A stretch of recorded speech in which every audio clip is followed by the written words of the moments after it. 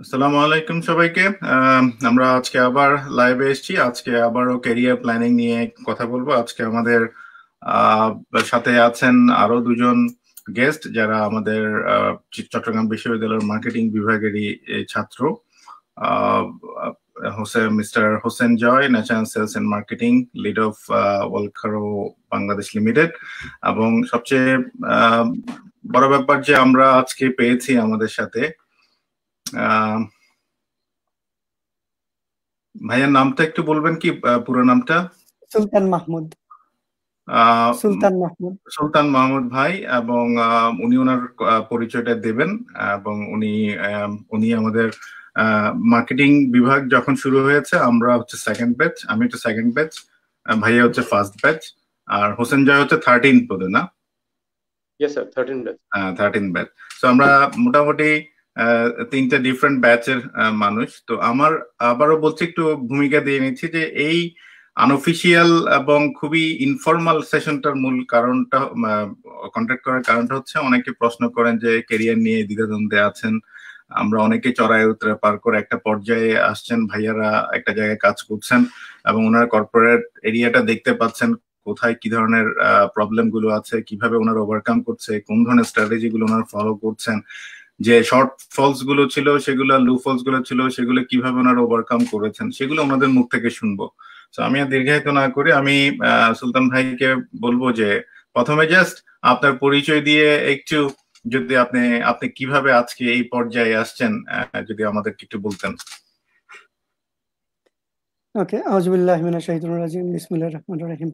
ধন্যবাদ সবাইকে যারা আমার দুজন মানে আমরা সহপাঠী বা একই ডিপার্টমেন্টের আমরা বিভিন্ন ব্যাচের যে দুইজন, ব্রাদার শামসুজ্জোহা এবং ব্রাদার মুবারক, আমরা I am very happy to be here today to share my experiences at the same time আমি আপনাদের কাছ থেকেও শুনব।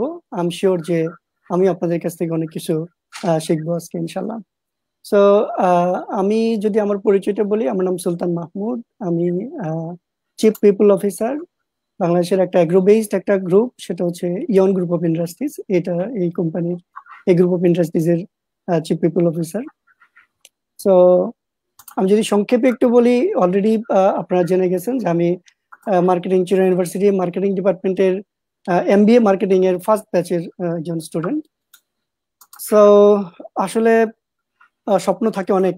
যখন আমরা ইউনিভার্সিটিতে বিশেষ করে যখন ভর্তি হই, বিশাল একটা স্বপ্ন নিয়ে ভর্তি হই, যখন আমরা আস্তে আস্তে এগিয়ে যাই, স্বপ্নগুলো আস্তে আস্তে আস্তে আস্তে কেন জানি একটু দুদুল্য মানতায় চলতে থাকে।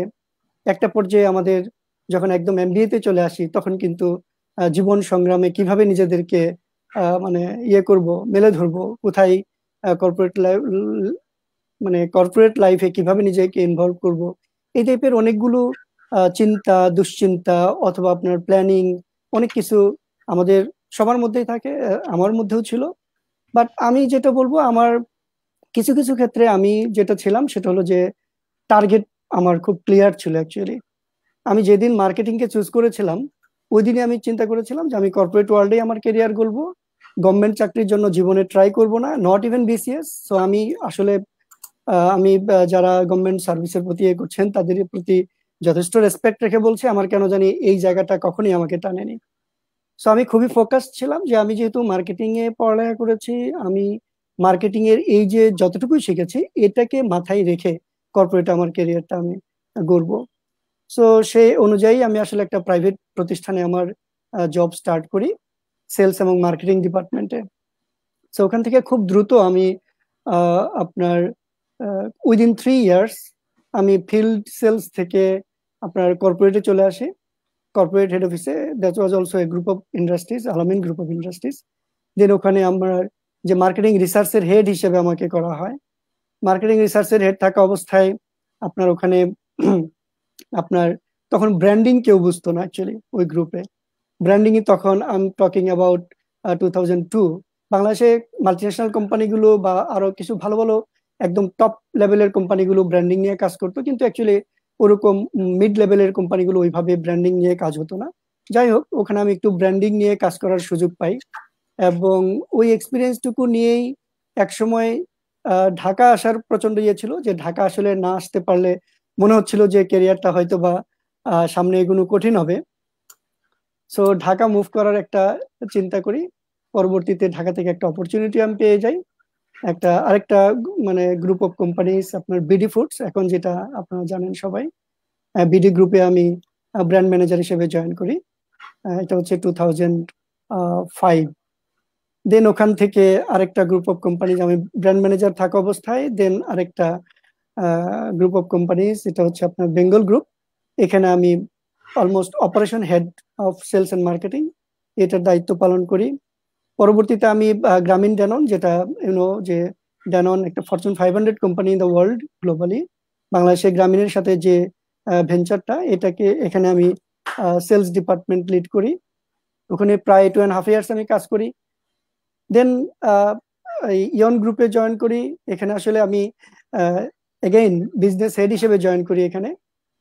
জিএম অপারেশনস বিজনেসে ফুড বিজনেসের হেড হিসেবে। উইদিন সিক্স মান্থস অ্যাকচুয়ালি এটা একটা ইন্টারেস্টিং স্টোরি আমি মনে হয় একটু শেয়ার করি। সেটা হচ্ছে, তখন আমাদের যিনি এমডি মিস্টার মমিনুদ্দৌলা, উনি স্ট্যানফোর্ডে একটা কোর্স করছিলেন, একটা শর্ট কোর্সে উনি গিয়েছিলেন। তো ওখান থেকে উনি খুব চিন্তা করছিলেন যে অ্যাকচুয়ালি এই টোটাল অর্গানাইজেশনকে যদি সাস্টেনেবল করতে হয়, তাহলে যে পিপল ডিপার্টমেন্ট বা আপনার এইচআর ডিপার্টমেন্ট বা অর্গানাইজেশন ডেভেলপমেন্ট এটা যদি না করা যায়, তাহলে অ্যাকচুয়ালি অর্গানাইজেশন লং টার্ম টিকে থাকবে না। তো এটা উনি স্ট্যানফোর্ডের একজন প্রফেসরের সাথে উনি শেয়ার করেন যে কীভাবে উনি এটা করতে পারেন। পরবর্তী ওখান থেকে একটা পরামর্শ আসে যে তুমি উইদিন তোমার কোম্পানির ভিতর থেকে যদি কারও পিপল নেক থাকে then you should choose him or her so that he or she can understand the total corporate your values and culture and it will be easy for your corporate development এবং organisational development actually তখনই উনি America থেকে আমাকে ফোনটা করেন এবং phone করার পরে একদম ডিরেক্টলি উনি অফার করেন আমাকে যে এইচআরে তো আমি তখন তো আসলেই অপ্রস্তুত বিকজ আমি আজীবন কাজ করেছি সেলস মার্কেটিং ব্র্যান্ড অপারেশনস সেখান থেকে এইচআর এ আবার গ্রুপ অফ কোম্পানিজের আপনার এইচআর হেড এনিওয়ে তখন আমি আসলে খুব বেশি টাইমও নেইনি। পরের দিনে আমি ওনাকে গ্রিন সিগন্যাল দিই। বিকজ আমার একটা কনফিডেন্ট ছিল যেহেতু বড় টিম পরিচালনা করেছি বেশ কিছু এতে কাজ করেছি। সো ওই কনফিডেন্স নিয়ে ইয়ে ছিলাম যে why not let me try then আমি স্টার্ট করি দেন পরবর্তীতে অনেকগুলো ট্রেনিং হয়। মেবি আমাদের বিভিন্ন আজকে কথার ছলে ওগুলো আসবে। পরবর্তীতে ফাইভ ইয়ার্স এখন এই লেভেলে আছি আর কি ইয়ন গ্রুপ অফ ইন্ডাস্ট্রিজে জিএম অপারেশন থেকে লাস্ট ইয়ারে আলহামদুলিল্লাহ আমাদের, আমার যে প্রমোশন চিফ পিপল অফিসার হিসেবে ইয়ে পাই প্রমোশন পেয়ে লেভেলে আছে আর কি। ধন্যবাদ ভাইয়া। আমি হোসেন জয় যদিও হোসেন জয় ক্যারিয়ার কত বছর হলো? আট বছর? Sir ten years almost ten years okay এই দশ বছরের গল্পটা মানে শুরু থেকে যেমন আমার মনে হয় যে সেদিনকার স্টুডেন্ট তুমি। সেদিনও মনে হচ্ছে যে ক্লাস করতেছিল। তো এখন দেখতে দেখতে অনেক বড় জায়গায় চলে যাচ্ছ তোমরা বড় বড় জায়গায় কাজ করছ ভেরি গুড এবং তোমার আরেকটা জিনিস আমার ভালো লাগে যেটা আমি খুব বেশি ফলো না করলেও বুঝি যে তুমি একটু লেখালেখি করো ইয়াং জেনারেশনকে জানানোর চেষ্টা করো হুইচ ইজ ভেরি গুড এবং এটা আমি অ্যাপ্রিসিয়েট করি। আমি খুব আমার তোমাদের মনে আছে কিনা জানি না যে স্টুডেন্ট লাইফে তোমরা যখন বিদায় বেলা বলতা যে স্যার যদি কখনো কিছু পারি আপনি আপনারা ডাকবেন আমাকে তখন বলতাম যে আর কিছু না করো যে ছোট ভাইদেরকে ছোট ভাই বোনদেরকে দেখবা। তো সবাই আসলে সেই সময়টা হয়তো পায় না। তোমরা যারা ব্যস্ততার মধ্যে সময়টা বের করো তাদের প্রতি আমার অন্তত কৃতজ্ঞতা। তো সো তুমি তোমার সম্বন্ধে একটু বলো। আমরা আসলে খুব বড় হয়ে গেলে হয় কি যে অনেকে আসলে এতক্ষণ থাকতে চায় না। তো আমরা চাইব যে দেড় ঘণ্টার মধ্যে শেষ করতে। তুমি তোমার এই দশ বছর পথ চলাটা যদি একটু সংক্ষিপ্ত ভাবে বলতা বিসমিল্লাহ রহিম। স্যার আসসালামু আলাইকুম সুলতান স্যার এবং দোহা স্যার। আসলে আলহামদুলিল্লাহ আমি দুই দিক থেকে লাকি নম্বর ওয়ান হচ্ছে আমি আজকে কথা বলার সুযোগ নাই। এটা আসলে লার্নিং এর একটা সুযোগ পেয়েছি। আমি আমার ইউনিভার্সিটির টিচারকে পেয়েছি এবং আমি আমার কর্পোরেট লাইফে আমি যার সাথে আসলে কাজ করেছি, এক বছরের মতো ওনাকে পেয়েছি। সো এটার জন্য আমি মনে করছি যে আমি আসলে আলহামদুলিল্লাহ আমি আজকে সেশনটা আমার জন্য নিজের জন্য আসলে বিশাল এক লার্নিং সেশন আর যদি স্যার আপনি দশ বছরের ব্যাপারে বলতে বলেন, তাহলে আমি বলব যে স্যার আলহামদুলিল্লাহ আল্লাহ রহমতে যেটুকু আসছি অবশ্যই আমার টিচারদের সমর্থন ছিল, আমার পরিবারের সমর্থন ছিল আল্লাহ রহমত ছিল। শুরুটা যদি আমি একটু বলি, আসলে আমার ব্যাচটা অনেক লাকি আপনি জানেন স্যার যে আমরা পাঁচ বছরের মধ্যে বিবিএ এবং এম দুইটাই শেষ করে ফেলি। তো আমার শুরুটা হচ্ছে, আমার, আমাদের যখন আসলে থার্ড ইয়ার শেষ হয়ে গেছে, আমি একটা এপিআর সার্টিফিকেট সংগ্রহ করি ইউনিভার্সিটি থেকে এবং এটা দিয়ে অ্যাপ্লাই শুরু করি। আমি তিনটা জায়গায় অ্যাপ্লাই করেছি বাংলা লিঙ্ক বিএটি এবং নিটোল টাটা। তো আনফর্চুনেটলি আমি বিএটির ইয়েতে যে সেশন হয়, সেখানে আমি যেতে পারিনি। আমার একটু সমস্যায় পড়ে গিয়েছিলাম। এক্সাম এক্সাম পড়ে গিয়েছিল। তখন আমার বিবিএ শেষ হয়নি। এক্সাম পড়ে গিয়েছিল। দেন বাংলা লিঙ্কে আমি আসলে অনেক দূর গিয়েছিলাম। ফাইনালি সিলেক্টেড হয়নি, কিন্তু আলটিমেটলি আমি বিবিএ পড়াকালীন সময়ে আমি নিটোল টাটাতে আসলে জয়েন করে ফেলি। এবং আমি আসলে ডিটারমাইন্ড ছিলাম যে আমি এমবিএটা হয়তো করব না, যদি আমি আসলে কেরিয়ার স্টার্ট করতে পারি। আমার মতো ছিল যে আমি যদি আসলে শুরু করতে পারি দেন যেটা হবে এমবিএ শেষ হতে হতে আমি হয়তো বা দুই বছরের এক্সপিরিয়েন্স হয়ে যাবে। ওই দুই বছরের এক্সপিরিয়েন্স দিয়ে আমি জাম দিতে পারব।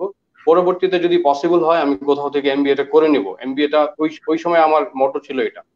তো আলহামদুলিল্লাহ, আমি খুব কুইকলি শুরু করে ফেলি। শুরু করার পরে দুই মাসের মধ্যেই এমবিএ এর ইয়ে হয় পরীক্ষা ডেট পড়ে যায়। এর এর মধ্যে অনেকগুলো ক্লাস আমি চেষ্টা করেছি শনিবারে গিয়ে করে করে, করতে করতে।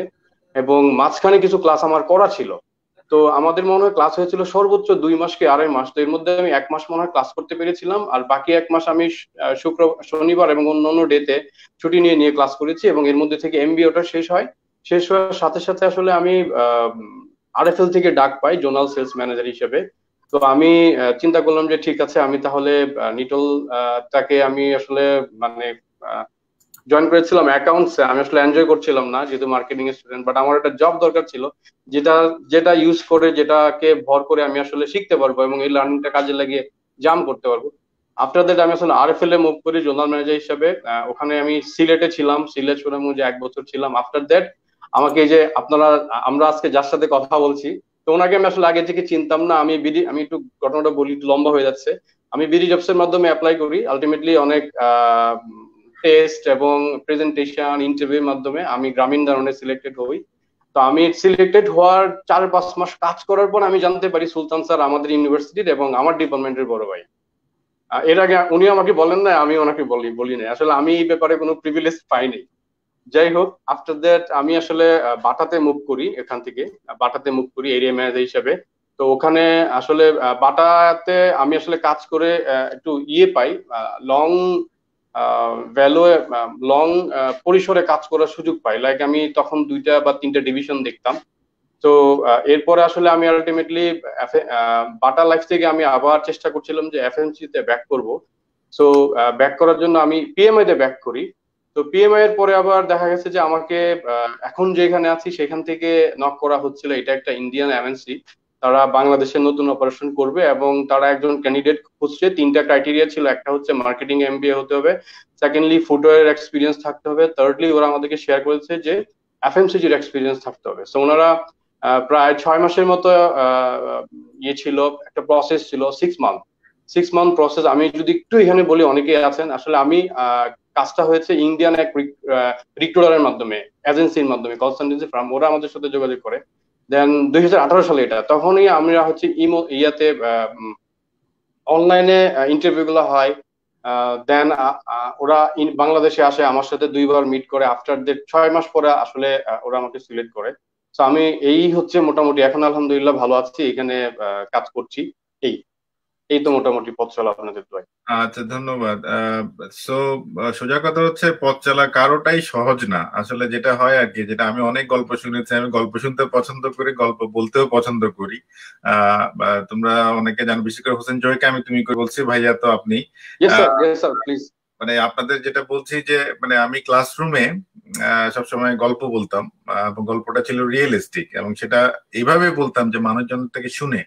তো এখনও সেই শোনার আগ্রহটা অনেক বেড়ে গেছে। কারণ এক একজনের গল্পটা না ইউনিক এক একজনের ক্যারিয়ারটা এক একভাবে বেড়ে ওঠা। তো সো ইয়াং জেনারেশনের জন্য লেসনটা হচ্ছে আসলে গল্প শুনবেন, কিন্তু আপনার গল্পটা যে আরেকজনের সাথে ম্যাচ করবে there is no certainty so আপনি কিন্তু প্রিপারেশনটা নিবেন যে গল্পটা আপনার এরকম হতে পারে but you definitely you will have a something unique situation তো যাই হোক, আমরা আজকে যেটা আমি সুলতান ভাইয়ের কাছে আসব, যে আপনারা ফার্স্ট ব্যাচ আমার মনে আছে আমি সেকেন্ড ব্যাচে আমাকে যখন সাক্ষাৎকারে জিজ্ঞেস করা হয়েছিল যে কোন আমি সায়েন্স ব্যাকগ্রাউন্ড থেকে আসছি, যে কোন সাবজেক্ট নিবা ইউ হ্যাভ ওপেন কারণ আমার প্রথম বোধ হয় ভুলে গেছি, আমি প্রথম পনেরো বা বিশের মধ্যে ছিলাম, তো আমার জন্য ওপেন ছিল।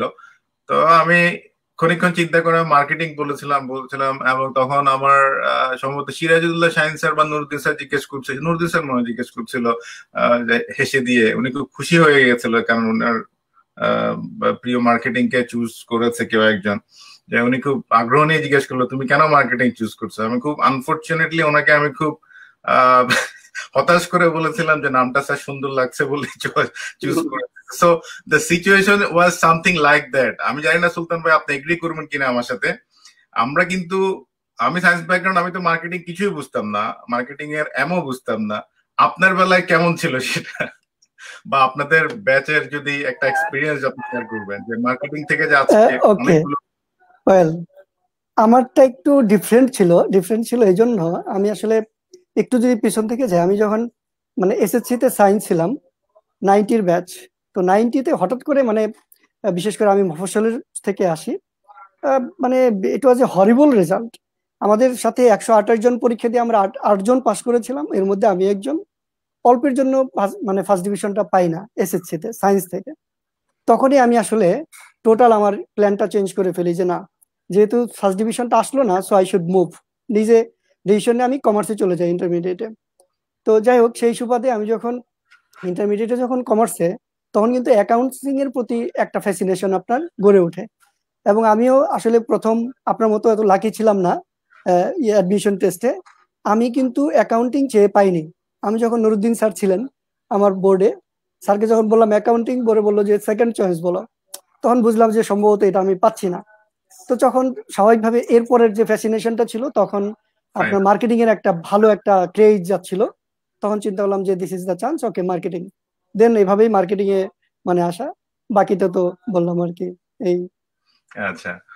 হোসেন জয়দের ক্ষেত্রে তো মনে অনেক মেচিউর ডিসিশন ছিল সেটা। মানে বুঝে শুনে নাকি? স্যার আমার ক্ষেত্রে আমার ক্ষেত্রে একটু আরও ব্যতিক্রম ছিল। সেটা হচ্ছে স্যার আমি আসলে মার্কেটিং বলতে বুঝতাম যে যে মেডিকেল আমরা যেটা করেন বা সেলসম্যানরা যেটা করেন সেটা। সো আমার কাছে মনে হচ্ছিল যে না আমি এই মার্কেটিংটা করব না আলটিমেটলি তো আমি আসলে হ্যাঁ রাস্তার কাছে ঘুরবো না আমি করব না এটা। এটা আমার ডিসিশন ছিল একদম ভর্তি পরীক্ষা পর্যন্ত। বাট আমি যখন, আমাকে যখন ইন্টারভিউর জন্য ডাকলো, আমি বললাম যে আমি অ্যাকাউন্টিং নিব। তো আমাকে বলল যে তুমি এরপরে কি চাও বলো? আমি বললাম ম্যানেজমেন্ট নিবো। বলছে, তারপরে কি চাও? আমি ফিনান্স নিবো। তবে মার্কেটিং কখনোই বলিনি আমি। তো আলটিমেটলি স্যার আমার হচ্ছে কি যে আমাকে অ্যাকাউন্টিং আমি পাইনি। আমি ম্যানেজমেন্ট পেয়েছি। পাওয়ার পরে যেটা হয়েছে ওরিয়েন্টেশন ক্লাস ম্যানেজমেন্টে করেছি। করার পরে আমার কাছে ভালো লাগেনি। আমি পরে আমাদের যেহেতু পাঁচতলা, আমি একটু নিচের দিকে গেলাম। গিয়ে দেখলাম যে আমাদের যেহেতু তখন ম্যানেজমেন্ট চারতলা আমি একটু উপরের দিকে গেলাম। উপরে নিচে সব জায়গায় গিয়ে দেখি মার্কেটিং এ প্রেজেন্টেশন হচ্ছে একটা। তো আমি কিছু না বলে ঢুকে ফেললাম।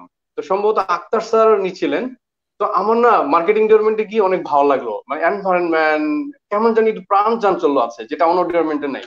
তো আমি ডিসিশন নিলাম যে আমি মাইগ্রেট করব। এনি হাউ আমি আর স্যার এটা দুই হাজার পাঁচ সালের কথা। দুই হাজার পাঁচ সালের কথা ওকে আচ্ছা আমি তো আমি ছিলাম তো বোধহয় আমি আমেরিকা যাওয়ার আগে। না আপনি স্যার আপনাকে আমি সাত সালে পেয়েছি মনে আমরা আমরা আপনাকে সাত সালে পেয়েছি।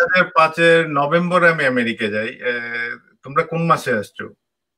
আমরা স্যার মার্চ এপ্রিলে তাহলে আমরা মনে আপনাকে পেয়েছি স্যার আমার মনে ভুলে যেতে পারে। ছয় মাস পেয়েছি। তোমরা স্যার আমি আর জি স্যার আমি স্যার ম্যানেজমেন্টের ক্লাস করিনি এরপরে আর। ম্যানেজমেন্টের ক্লাস না করে আমি শুধু মানে অফিসে যোগাযোগ করতে লাগলাম বড় ভাইদের সাথে যোগাযোগ করতে লাগলাম হলে যে কীভাবে মার্কেটিং এর ট্রান্সফার হয়ে যায়। তো আলহামদুলিল্লাহ কিছুদিনের মধ্যে আমি মার্কেটিং পেয়ে গেলাম এবং স্বতঃস্ফূর্ত ভাবে আলহামদুলিল্লাহ ক্লাস করলাম। বাকিটা তো আলহামদুলিল্লাহ আলহামদুলিল্লাহ। এইখানে আসলে একটা বড় ব্যাপার কি আমরা আমাদের গল্পগুলো যদি সবার এরকম শোনা যায় দেখা যাবে যে আসলে কে কি চেয়েছিল দেখা যাচ্ছে সে সেটা পায়নি অনিচ্ছা সত্য এসেছে। যেমন আমার ক্ষেত্রে তো বটেই। আমি তো টোটালি ব্লাইন্ড ছিলাম। সায়েন্স থেকে আসব ইঞ্জিনিয়ার হওয়া ছিল বাবা মারা গেল ইত্যাদি ইত্যাদি। সো প্রবলেম এই অর্থাৎ এই যে এইসব জায়গা থেকেও কিন্তু ঘুরে দাঁড়ানো যায়। ইয়াং জেনারেশনের জন্য শিক্ষা যে এই জায়গা থেকেও কিন্তু ঘুরে দাঁড়ানো যায়। তার মানে হচ্ছে এমন না যে হতাশ হওয়ার কিছু নেই। আজকে আমার কাছে অনেকে আছে স্যার আমরা মার্কেটিং তো চয়েস দেওয়ার কথা ছিল না। মার্কেটিং বুঝি না কি করব মার্কেটিং পড়ে? এখন তো মার্কেটিং পড়ে বহু কিছু করার গল্প আছে।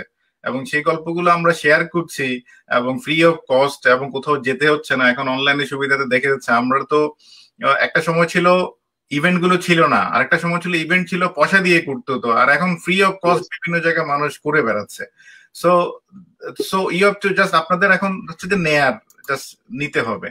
আচ্ছা যাক আমরা একটু ইয়েতে যাই বেসিক যে কোশ্চেন যেটা আমরা ক্রিয়েট করেছি আর কি সেদিকে যাই।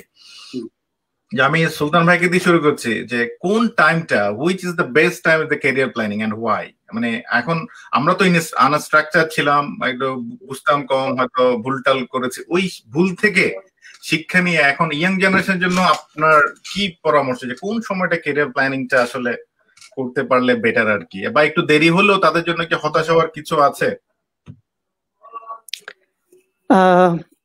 ওয়েল থ্যাংক ইউ এটা আসলে একটা আমি বলব যে কেরিয়ারের জন্য আমাদের বা লাইফের জন্য এটা একটা গুরুত্বপূর্ণ পার্ট আমি বলব যে কেরিয়ার প্ল্যানটা করা। সো আমি কেরিয়ার প্ল্যানের আগে আমি যে জিনিসটা বলব এটা হলো যে নিজের টার্গেটটা সেট করা আসলে। দ্যাট ইজ মাস্ট মানে মাচ মোর ইম্পর্টেন্ট আমি বলব। যেমন আমি আমার ক্ষেত্রে যদি বলি যেমন একটু আগেই বলছিলাম যে আমার শুরু থেকেই গ্রামের ছেলে তো তখন ডাক্তার আর ইঞ্জিনিয়ার ছাড়া কিছুই বুঝতাম না আসলে। সো মনে হচ্ছিল যে ডাক্তার হব। ডাক্তার হব। সো যখন সো আমার টার্গেট ছিল ডাক্তার। তাহলে একটা গেল। দেন যখন এসএসসিতে যখন ফার্স্ট ডিভিশন পেলাম না, কি মনে করে চিন্তা হলো যেহেতু ফার্স্ট ডিভিশন পাইলাম না মেবি মেডিকেলে চান্স পাবো না। হয়তো আমার এই চিন্তাটা ভুল ছিল হোয়াট এভার তখন আমি টার্গেট করলাম যে না, যেহেতু এই লাইনে হবে না, এবার আমি বাণিজ্য লাইনে যাব মানে কমার্স লাইনে চলে যাব। So that was also again একটা মানে আমি বলব যে তখন কিন্তু এরকমটা ছিল না যে সায়েন্স কেউ দেয়নি বলে আমি কমার্সে নো এটা একদম সুচিন্তিত পরিকল্পিত ভাবে কিন্তু কমার্সে আসি। সো ওখানেও কিন্তু একটা টার্গেটিং এর আবার চেঞ্জ হলো। এবার পরবর্তীতে যেটা বললাম মার্কেটিং ওকে সো আমি বলব মানে কেরিয়ার প্ল্যানিং এর আগের যে পার্টগুলো আমরা যখন স্টুডেন্ট লাইফে আর্লি স্টেজে থাকি আমাদের মানে ভিউয়ারদের মধ্যে যদি কেউ একদম আর্লি স্টেজে থাকে স্কুল কলেজে যদি পড়ে, আমি তাদের জন্য বলব যে টার্গেটটা এখনই সেট করে ফেলা, যা আপনি কি হতে চান। আপনি কোথায় মানে যেতে চান? আপনার ভিশনটা কি? আপনার মিশন কি? আপনি লাইফে মানে সোশ্যাল ওয়ার্ক করতে চান? আপনি কি এডুকেশনের সাথে থাকতে চান? নাকি আপনি অন্টারপ্রেনার হতে চান? নাকি আপনি ইঞ্জিনিয়ার হতে চান? ডাক্তার হতে চান? অথবা কর্পোরেট একজন ইয়ে হতে চান? সেই জিনিসগুলো কিন্তু তখনই সেট করে ফেলা উচিত। এবং ওটাকে মাথায় রেখেই পরবর্তী মানে দিকগুলো আসা উচিত। এটা একটা অ্যাপার্ট ফ্রম ফ্রম দিস আমি যদি বলি যে একদম বিজনেস গ্রাজুয়েট বা গ্রাজুয়েশন লেভেলে আমরা যখন থাকি, তখন আমি বলব যে অনেকে আমরা যে জিনিসটা করি, যে মিস্টেকটা আমিও করেছি, আমরা কিন্তু কেরিয়ার প্ল্যানিংটা তখন আমাদের যেহেতু মানে আপনি যেমনটা বলতেছিলেন, আমাদের কিন্তু গাইড করার মতো তেমন কোনো ইয়ে ছিল না। তখন এই ফেসবুক বা এই লিঙ্কডিন সোশ্যাল মিডিয়ার এমন কোনো ইয়েও ছিল না, আমরা কিন্তু ওই সুযোগগুলো পাইনি। সো আমরা কিন্তু লেট করেছি। আমার মনে আছে আমরা যখন এমবিএতে তখন গিয়ে চিন্তা আসছে যে কি করব। It was it was actually তখন সো লেট আমি বলব যে যারা মানে গ্রাজুয়েশন লেভেলে আছেন first year second year third year এবং ইয়ে তখনই প্ল্যানটা করে ফেলা উচিত যে আমি মানে কি করতে চাই কেরিয়ার প্ল্যানিংটা যে আমি কোথায় যাব, ওখানে যাইতে হলে আমার প্রিপারেশনগুলো কীরকম লাগবে, কি ধরনের কম্পিটেন্সি ওখানে দরকার, সেই কম্পিটেন্সি গুলো আমার ভিতরে আছে কিনা। যদি না থাকে তাহলে আমি কীভাবে সেটা বিল্ড আপ করব, এই জিনিসগুলো তখনই সম্ভব যখন আমি একটু আর্লি মানে আমি প্রথম দিকেই যদি ইউনিভার্সিটির প্রথম দিকেই যদি আমি প্ল্যানিংটা করে ফেলি, তাহলে এই জিনিসগুলো কিন্তু অনেক ইজি হয়। যে আমার কোনো কম্পিটেন্সি গ্যাপ থাকলে সেটা আমি দূর করতে পারি। আবার আমার ফ্যাসিনেশনটা কোথায় আমি চেক করতে পারি। আবার আমি বলব যে আমি যখন ক্যারিয়ার প্ল্যান করব, যে আমি এদিকে যেতে চাচ্ছি, সেক্ষেত্রে আবার কিছু জিনিস চেক করে নেওয়া উচিত। আমি বলব যে কেউ একজন বলছে যে এটা করতে হবে, সেদিকেই যাব এমনটা না। যেমনটা আবার আপনি বলতেছিলেন যে একজনের গল্পে ইন্সপায়ার্ড হয়ে আমি ঠিক ওদিকেই ছুটতে থাকব, সেটাও মনে হয় ঠিক না। কারণ প্রত্যেকেই কিন্তু আমাদের নিজেদের গল্প আমরা রচনা করি। সো আপনারা যারা শুনছেন, আমি বলব যে প্রত্যেকেই আপনারা এক একজন এক একটা গল্প রচনা করতে হবে, নিজের মতো করে। We can be inspired from others but we have to build our own মানে স্টোরি তো সেক্ষেত্রে আমি বলব যে, এক্ষেত্রে নিজের আমার জীবনের গোল কি মিশন কি, আমি কেন মানে ইয়ে করতে চাই আমার ভীষণ কি লাইফে আমি এক্সট্রিম ইয়েতে কি হতে চাই? ওর উপর বেস করে আগে থেকে প্ল্যানিংটা করলে জীবনটাকে অনেক বেশি গুছানো ভাবে স্টার্ট করা যায়। এই জন্য আমি বলব একটু আর্লি স্টেজে স্টার্ট করতে আর কি। থ্যাংক ইউ ধন্যবাদ ভাইয়া।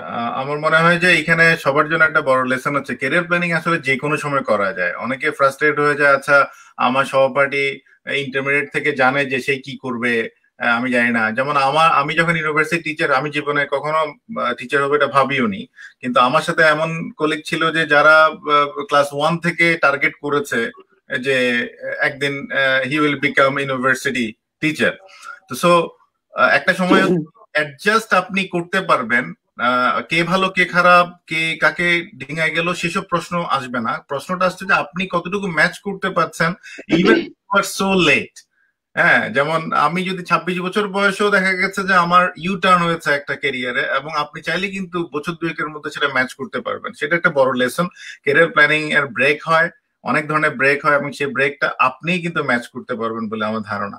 আচ্ছা এখানে দুইটা জেনারেশন আছে আসলে। একটা হচ্ছে সুলতান ভাইয়ের, আমি হচ্ছে পিঠে পিঠি কাজে আমরা যদি একটা ধরি, আর ইয়ে হোসেন জয়রা যদি আরও একটু পরে প্রায় আমাদের দুই হাজার সরি আমরা হচ্ছে নাইনটিন ভাইয়ের হচ্ছে nineteen ninety three ninety two three আমরা নাইনটি বারো বছর পরে। তো সো বারো তেরো বছর পরে। সো তোমার তোমরা তো অনেক কিছু দেখেছ যে লাইক তোমরা তো বাই দিস টাইম অনেক সিনিয়রদেরকে পেয়েছ কথা বলার সুযোগ পেয়েছ। এটা হাউ ইট হেল্প যে আমাদের চাইতে তোমাদের সিচুয়েশনটা কি আরেকটু ডিফারেন্ট ছিল? ক্যারিয়ার প্ল্যানিং এর স্যার অবভিয়াসলি একটু ডিফারেন্ট তো ছিলই। একটু ডিফারেন্ট বলতে হচ্ছে যে আমি যেটা, আমরা যেটা পেয়েছি, আমাদের কিন্তু ক্লাসরুমে আমাদের সব সব স্যাররা না বললেও আপনি বলতেন, আরও অনেকে ছিলেন যারা আসলে অল্প অল্প আইডিয়া দিতেন। এবং আপনি যেমন ব্যাংক থেকে আসছেন অনেকে এরকম, অনেক স্যার যেমন, আরও অনেকে আছেন, অন্য অন্য পজিশনে ছিলেন। ওনারা কিন্তু অল্প স্বল্প শেয়ার করতেন তখন থেকেই। সেটা অল্প পরিমাণ হলে হতো। তো এটা আমাদেরকে আগে থেকে আসলে চিন্তা করার সাহস জুগিয়েছে এবং চিন্তার যে পরিধি সেটাকে উন্মোচন করে দিয়েছে। আর তখন হচ্ছে যে, আমাদের সময় গ্রামীণ ফোন নতুন করে আসছে এবং ব্যাংকে যে কর্পোরেট কালচার সেটা শুরু হয়েছে সিটি সেল ছিল। তো আমরা অল্প স্বল্প কিছু বড় বাইকে জিসি মোড়ে পেয়েছি। ওনাদেরকে আসলে জিজ্ঞেস করে অল্প স্বল্প হলেও পেয়েছি। আপনাদের মতো একদমই এরকম ছিল না, আমরা পেয়েছি। আমরা আলহামদুলিল্লাহ আমরা পেয়েছি। আমি এখানে একটু অ্যাড করি আমাদের সময়টা সুলতান ভাই এগ্রি করবেন কিনা জানেন আমি বলে নিই সেটা হচ্ছে আমরা মানে আমাদের আগের ফেজটা ছিল ডিগ্রি পাস কোর্স ম্যাক্সিমাম ছেলেপেলেরা করতো। আমাদের বন্ধু বান্ধবদের মনে হয় ninety percent degree pass course করতো। তো আমাদের যেটা হয় আর কি যে একটা একটা একটা অনগোয়িং থিংস অনেক বছর ধরে একটা কালচার চলে আসছে ডিগ্রি পাস একটা মেন্টালিটি হচ্ছে আমি পাস করব আমি যেন একটা চাকরি দিয়ে শুরু করব ওরকম ভিশনারি কোনো প্ল্যান কারও ছিল না। যার ফলে আমরাও কিন্তু ঠিক ওই, ওইভাবেই গ্রো হয়েছে যে বিবিএ পড়ছি মানে আমাদের কাছে মনে হয় না যে এটা সামথিং আইডেন্টিক্যাল কিছু করছে। মানে অ্যাটলিস্ট আমি আমার অনেক কন্টেম্পোরারি ফ্রেন্ডকে দেখেছি। অ্যাজ ইউজুয়াল জাস্ট হয়তো ওইটা দুই বছরের কোর্স এটা তিন বছরের কোর্স আমাদের আবার ফানি ব্যাপার ছিল, আমাদের তিন বছরের অনার্স পৃথিবীর কোনো দেশে তিন বছরের অনার্স নাই। বা এইভাবে পরে তোমাদের ওখানে সময় স্ট্রাকচার হয়েছে চার বছর। এবং কোর্সগুলো আরও একটু বড় করা হয়েছে এবং পরিধি ইয়ে করা হয়েছে। তো যাই হোক, আমি বলছি যে এই যে স্ট্রাকচার হওয়ার আগে আমরা পড়েছিলাম যে একটা ইন্টারিম পিরিয়ডে মানে অনেকটা গিনিপিকের মতো, যে ইনিশিয়েট করা হয়েছে একটা বিবিএ প্রোগ্রাম মার্কেটিং তার উপরে নতুন একটা প্রোগ্রাম লঞ্চ হয়েছে ফাইন্যান্সও তখন আমাদের সাথে একই সাথে। তো সো অনেক লু ফল ছিল, অনেক ট্রায়াল অ্যান্ড এরর ছিল রিসোর্সের অভাব ছিল বইয়ের অভাব ছিল, ভাইয়ের মনে আছে কিনা জানি না। আমাদের কিন্তু অনেক সাবজেক্ট আমাদের পড়তে হয়েছে আমাদের কোনো বই ছিল না। সাবদের নোট করা জিনিস পড়তে হয়েছে। আপনার নুরুল করিম স্যারের কথা মনে আছে কিনা জানি না। নুরুল স্যার এর অনেক ওই যে ব্রিটেন থেকে উনি ওনার কাছে হয়তো একটা পিসি ছিল ওই পিস থেকে উনি হয়তো টুপিটাকে আমাদেরকে বলতেন আমরা ওইটাই। ওই বইয়ের কোনো কপি আমরা কখনো ফটোকপিয়ারও তখন অ্যাভেলেবল ছিল না। আপনার বোধহয় মনে আছে। আমাদের ফটোকপি করতে হলে আমাদের নিউ মার্কেটের ওইখানে গিয়ে লাইন করে দাঁড়া থাকতে হতো। আজকে দিলে কালকে পাবো পরশু পাবো এরকম। তো সো অর্থাৎ আমরা আমি এই জিনিসটা বোঝা যাচ্ছে যে জেনারেশন টু জেনারেশন হার্ডেলটা অনেক বেশি ছিল। আমাদের আগে হয়তো তারা আরও অনেক কষ্ট করেছে। কিন্তু কেউ ঠেকে নাই। মানে ব্যাপারটা হচ্ছে যেটা আমি ক্লাস রুমে বলতাম যে কেউ ঠেকবে না। হয়তো কারও স্ট্রাগলটার গল্প একরকম আপনাদের সময় আরেক রকম। আপনাদের সময় কম্পিটিশনটা হয়তো বেড়েছে তখন আর একটু ইউনিক কম্পিটেন্সি গুলো গ্রো করতে হয়েছে, সেগুলো আবার আপনাদের জন্য চ্যালেঞ্জ ছিল। এনিওয়ে সো আমি এর পরের কোশ্চেনে যাচ্ছি। আমাদের কিছু কোশ্চেন আসুক। অলরেডি ছয় সাতটা কোশ্চেন আসছে, আমি সেগুলোতে পরে আসছি। আচ্ছা what is the recruitment process in multinational company অনেকের মধ্যে একটা মিথ আছে, অনেক রকম প্রচলন আছে। আচ্ছা এটা কি? এটা বাঘ না ভল্লুক? বা এটা এরকম হয়, ওরকম হয়। অনেক ধরনের গল্প শোনা যায়। তো গল্পর কিছু সত্য, কিছু হোক্স মানে ব্যাপার হচ্ছে কেউ বানিয়ে বলে মনে হয় যে আমি ইন্টারভিউ বোর্ডে এরকম দেখেছি ওরকম দেখেছি আমার কাছে অনেক কিছু রিলায়েবল মনে হয় না। আপনাদের নিজেদের অভিজ্ঞতা যেগুলো একটু যদি সুলতান ভাই থেকে শুরু করেন আপনারা অনেক মাল্টিনেশনাল কোম্পানির রিক্রুটমেন্ট প্রসেসটা দেখেছেন শুনেছেন। থেকে যদি ইন আর্টসেল খুব ছোট করে আর কি হ্যাঁ। Okay thank you very much আসলে প্রথম কথা হচ্ছে আপনি যেমনটা বললেন যে ভাগ না ভাল্লুক প্রথমে এই জিনিসটা আগে দূর করে ফেলতে হবে। আসলে প্রথমে এটাকে বিশ্বাস করতে হবে যে আমি যদি আমার অরিজিনালিটিটাকে বজায় রাখতে পারি, তাহলে প্রসেস যেটাই হোক না কেন আমি ওখানে অ্যাডপ্ট করব। এখন প্রসেস হতে পারে আপনার ওকে তার আগে কয়েকটা ওয়েজগুলো বলি। কেউ হয়তো ট্যালেন্ট হান্টের মাধ্যমে করছে, কেউ আজকাল লিঙ্কটিন মাধ্যমে লিঙ্কটিনের মাধ্যমে সিভি কালেকশন করছে বা ই করছে। কেউ বা নিজস্ব যে আপনার ইয়ে থাকে, আপনার ক্যারিয়ার পেজ থাকে, ওখানে অ্যাপ্লিকেশনগুলো থাকে, ওই সিবি ব্যাংক থেকে করছে রেফারেল থেকে করছে। আজকাল মানে আমরা রেফারেলকে অনেক বেশি গুরুত্ব দেই। যে আমাদের যে ফ্রেন্ডস অ্যান্ড ফ্যামিলি থেকে যে রেফারেলগুলো ইভেন আমরা আমাদের গ্রুপেও যারা আমাদের যদি একজন কলিগ কাউকে রেফার করে এবং তার যদি চাকরি হয়, আমরা ওকে কিন্তু পে করি। সো এরকম রেফারেল পলিসিটাও কিন্তু অনেক বেশি মানে জনপ্রিয়। ইনফ্যাক্ট আমরা এটা ইউজ করছি। যদিও আমরা এটা পাই না বিকজ আমরা এইচআর এর সাথে যারা যুক্ত এইচআর এবং রেসপেক্টিভ আপনার রিপোর্টিং অফিসার বা এইচওডি এরা ছাড়া বাকিরা রেফারেন্স দিলে তারা একটা ইয়ে পাচ্ছে। সো যে মাধ্যমে এটা হোক না কেন, আমরা কিন্তু বেসিক কতগুলো জিনিস ইজ দ্য সেম হয় যদি মানে একদম ফ্রেশার্সদের জন্য যে জিনিসটা মোস্টলি ওয়েল অ্যাকসেপ্টেড একটা ইয়ে এটা হলো অ্যাসেসমেন্ট সেন্টার যে এখানে কম্পিটিটিভ একটা আপনার এনভায়রনমেন্ট ক্রিয়েট করা হয়, অনেক মানে ফ্রেশারদের আহ্বান করা হয়, ওখানে যে অ্যাসেসমেন্ট সেন্টারের মাধ্যমে বিভিন্ন যে স্তরগুলো, ওখানে কখনো রিটেন কখনো ভাইবা কখনো সাইকোমেট্রিক টেস্ট ওকে কখনো প্রেজেন্টেশন কখনো case study group discussions assessment সেন্টারে যেটা হয়, কেউ একদিন, কেউ দুই দিনের জন্য এই ইয়েগুলো করে, তারপর আপনি ধরেন ইয়েগুলো, তাদের যে কাঙ্ক্ষিত যে কম্পিটেন্সি গুলো থাকে, সেই কম্পিটেন্সির সাথে যারা ম্যাচ করে তাদেরকে নিয়ে নিচ্ছে। সো এর মধ্যে অনেক কিছু চলে আসবে। আবার কেউ কেউ আপনার একদম ট্রেডিশনালি করছে সিভি কালেকশন করছে, ওখানে একটা স্ক্রিনিং করছে, প্রাথমিক একটা ইন্টারভিউ করছে, এর মাঝখান দিয়ে হয়তো একটা সাইকোমেট্রিক টেস্ট নিয়ে নিচ্ছে দেন আপনার হয়তো আরেকটা টেস্ট বোর্ড হচ্ছে ফাইনালি গিয়ে আপনার ইয়ে হচ্ছে, আপনার হায়ারিংটা কমপ্লিট হয়ে যাচ্ছে। সো এখানে আমি যে জিনিসটা বলব, এটা হচ্ছে যে আপনার এখানে যে খুব বেশি এটা নিয়ে ওয়ারিড হওয়ার কোনো কিছু, এটা আমি মোটেই বলছি না। এখানে ওয়ারিড হওয়ার কিছুই নাই। বাট আমি দু একটা পয়েন্ট অন্যদিকে, এই রিক্রুটমেন্ট এর দিক থেকে অন্য দু একটা পয়েন্ট বলব, যে জিনিসগুলো অনেক বেশি ইম্পর্টেন্ট যেগুলো আমরা আমি পার্সোনালি যখন ইয়েতে যাই ইন্টারভিউ বোর্ডে থাকি বা প্রসেসগুলোকে দেখি, তখন যে জিনিসগুলোকে ফেস করি, যেখান থেকে আমি দু একটা টিপস দিতে চাই, সেটা হচ্ছে যে যে জিনিসটা আমরা দেখার চেষ্টা করি, সেটা হচ্ছে ফার্স্ট অফ অল যে একজন যিনি আছেন ওনার মানে বেসিক কম্পিটেন্সিটা আছে কিনা বেসিক নলেজটা আছে কিনা। এই বেসিক নলেজ বলতে আমি বুঝাচ্ছি, উনি যে ডিসিপ্লিন থেকে আসছেন, ওই ডিসিপ্লিনের বেসিকটা উনি জানেন কিনা। Just to test number one number two যে এই যে বেসিকটা আছে, এটা উনি আমাদের যে আপনার যে কাজটা উনি করবেন, ওখানে এটাকে অ্যাপ্লাই করতে পারবেন কিনা? আমরা যেটা বিশ্বাস করি, এটা হলো যে আমরা এই যে এত পড়ালেখা করি ইউনিভার্সিটি থেকে পিএইচডি করি বা আপনার ধরেন আপনার এম করছি বা অন্য যে কোনো ডিগ্রি নিচ্ছি, কেন? এর অ্যান্সার কিন্তু একটাই to solve the problems and আপনার ব্যারিয়ার এর বাইরে আর কিছু না। To solve problem to overcome challenges or overcome barrier এর বাইরে কিছু না।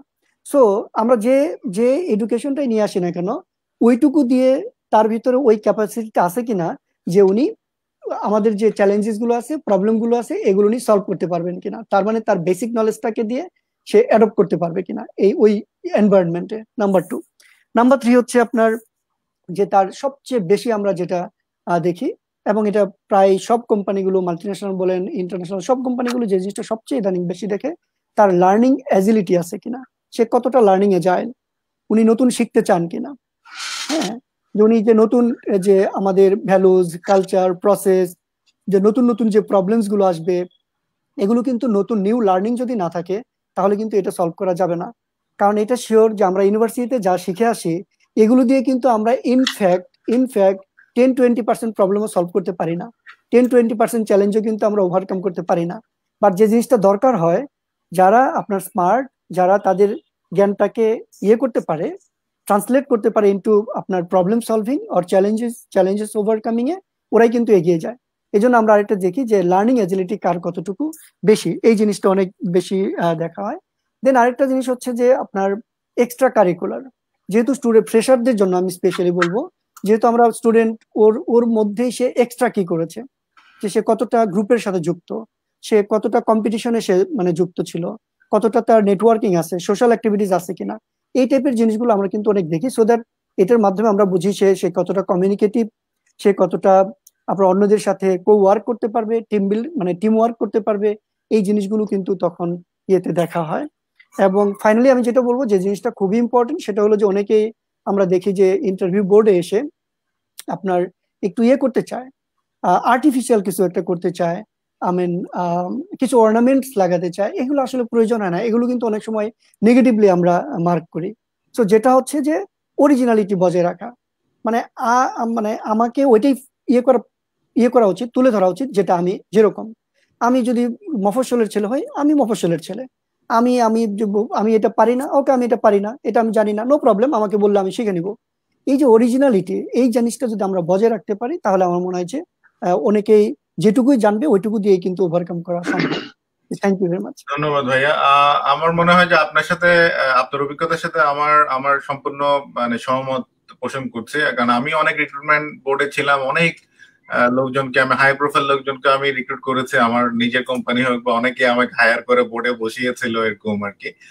সো সেখানে আমি দেখেছি যে আমি আসলে কারও যেমন অনেকে বলে আমি সিম্পল একটা মিস্টেক সবসময় ধরতাম। সেটা হচ্ছে যেটা আমি ক্লাসরুমে বলতাম যে তুমি লেখা আছে যে এমএস অফিস সে পুরোটাই জানে। সিম্পল একটা জিনিস সবাই লিখে আর কি। কিন্তু আমি যদি বলি যে how many application program inside the MS office আর বলতে পারে না।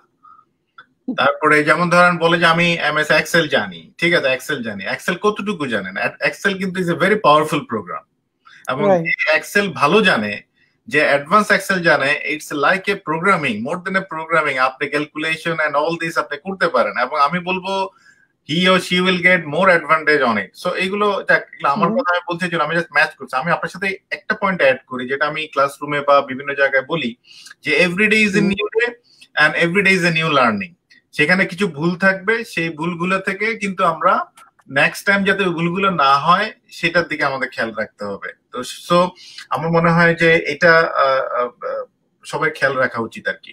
তো, হোসেন জয় কি এর সাথে কিছু অ্যাড করবা?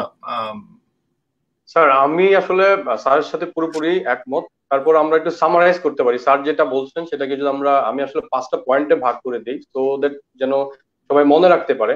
নাম্বার ওয়ান হচ্ছে যে জব সার্কুলার আসলে কোম্পানিগুলো জব সার্কুলার দেয় এবং সেটা ইন্টারনালি হতে পারে এক্সটার্নালি হতে পারে। ইন্টারনাল কি? স্যার যেটা বললেন যে প্রতিষ্ঠানে যেসব কর্মী আছেন, তাদের মাধ্যমে সিভি সংগ্রহ করে থাকে। এক্সটার্নাল কি? সেটা ফেসবুকে হতে পারে কোম্পানির ওয়েবসাইটে হতে পারে বিডি জবসে হতে পারে লিঙ্কডিনে হতে পারে। নাম্বার ওয়ান গেল। নাম্বার টু হচ্ছে আসলে আবেদন পত্রগুলো সংগ্রহ করার পর এরা একটা ক্রাইটেরিয়া মানে পদের বিপরীতে ক্রাইটেরিয়া সেট আপ করে দেয় এইচআর যে এই ক্রাইটেরিয়া হলে আলটিমেটলি আমরা এটাকে প্রাথমিকভাবে চুজ করব। তো আমার এখানে পয়েন্ট হচ্ছে যে এই ক্রাইটেরিয়া গুলো ম্যাক্সিমাম থাকে হচ্ছে ফ্রেশারদের ক্ষেত্রে যে এক্সট্রা কারিকুলার অ্যাক্টিভিটি থাকে, সেটা অ্যাডভান্টেজ পাবে। যদি পার্ট টাইম কোনো জব থাকে, সেটা পাবে। এই দুইটা জিনিস খুব ভালোভাবে আসলে সিভিতে ফুটিয়ে তোলা উচিত, যারা আমরা প্রেশার যারা অ্যাপ্লাই করব। নাম্বার তিন হচ্ছে আসলে এই প্রাথমিক স্ক্রিনিং এর পরে কোম্পানিগুলো ম্যাক্সিমামই যেটা হয় অ্যাসেসমেন্ট টেস্টের জন্য ডাকে তা যেটা বললেন। অ্যাসেসমেন্ট টেস্ট আসলে দুইটা জিনিস হয়, কেউ একটা রিটেন নিয়ে ছেড়ে দেয়, অথবা কেউ আসলে কেস স্টাডি দেয় এবং এরপর একটা প্রেজেন্টেশন থাকে, যেটা আমিও স্যারের সামনে দিয়ে আসছি। এরপরে যেটা হয় যে, এই এ থেকে কিছু স্ক্রিনিং হয়ে যায়। স্ক্রিনিং হওয়ার পরে যাদেরকে থাকে, যারা প্রেজেন্টেশন যারা ভালো করেন প্রেজেন্টেশনে এবং কেস স্টাডিতে এদেরকে নিয়ে সম্ভাব্য প্রার্থীদেরকে ইন্টারভিউর জন্য ডাকা হয়। ওই ইন্টারভিউতে আলটিমেটলি কতগুলো স্কিল সেট স্যার যে, যেসব স্কিলের কথা বললেন, সেই স্কিলগুলো দেখা হয় এবং ওখান থেকে আবার কিছু স্ক্রিনিং করে ঝরে পড়ে বাদ বাকি যে কতজন থাকে ওখান থেকে ফাইনালি ডিপার্টমেন্ট হেড যারা আছেন বড় বড় হেড যারা আছেন ডিপার্টমেন্ট হেড ওনারা বা এইচআর হেড ওনারা বসে আসলে ফাইনালি নির্ধারণ করেন যে উনি প্রতিষ্ঠানের সাথে যাচ্ছে কিনা ছেলেটা আসলেই কোর ভ্যালু আছে কিনা সবকিছু মিলিয়ে। এই হচ্ছে পাঁচটা পয়েন্ট আর কি আমার যেটা আমি সামারাইজ করলাম আর কি স্যারের কথা মতো এবং আপনার কথা সূত্র ধরে। আচ্ছা আমার মনে হয় যে আসলে এগুলো বলতে গেলে অনেক কথা। সোজা কথা হচ্ছে এখানে আমি একটা পয়েন্ট মিসকনসেপশন আছে যে একটা হচ্ছে যে এখানে ভাইয়া যে প্রথমে রেফারেল রেফারেন্স রিলেশনশিপ তিনটা জিনিস। হ্যাঁ এটা এটা ভাইয়া একটু ক্লিয়ার করে দেন। নাহলে অনেকে মনে করবে যে উইদাউট প্রপার রেফারেন্স ওর চাকরি হবে না। আসলে রেফারেন্সের চাকরি হয় না আমি বলব না। কিন্তু আসলে কোনো কোম্পানি আত্মঘাতী ডিসিশন নেবে না যে নিজেকে যদি কেউ যদি আউট পারফর্ম না করতে পারে। কেউ রেফারেন্স নিয়ে যদি আউট পারফর্ম করে তাহলে ভালো।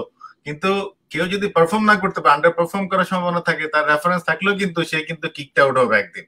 এই ব্যাপারটা যদি আপনি, সুলতান ভাই যদি একটু করে বলেন, কারণ অনেকের একটা বদ্ধমূল ধারণা I don't have any connection relationship এক জিনিস। যে আরেকটা হচ্ছে যে রেফারেন্স অনেকে মনে করে যে somebody will give me the opportunity যে চেয়ারটা আমাকে দিয়ে দিল, যে okay this is revolving chair this is for you হ্যাঁ যে এইটাকে আপনি কীভাবে দেখছেন? Okay thank you very much এটাকে আসলে একটু ক্লারিফিকেশন দরকার।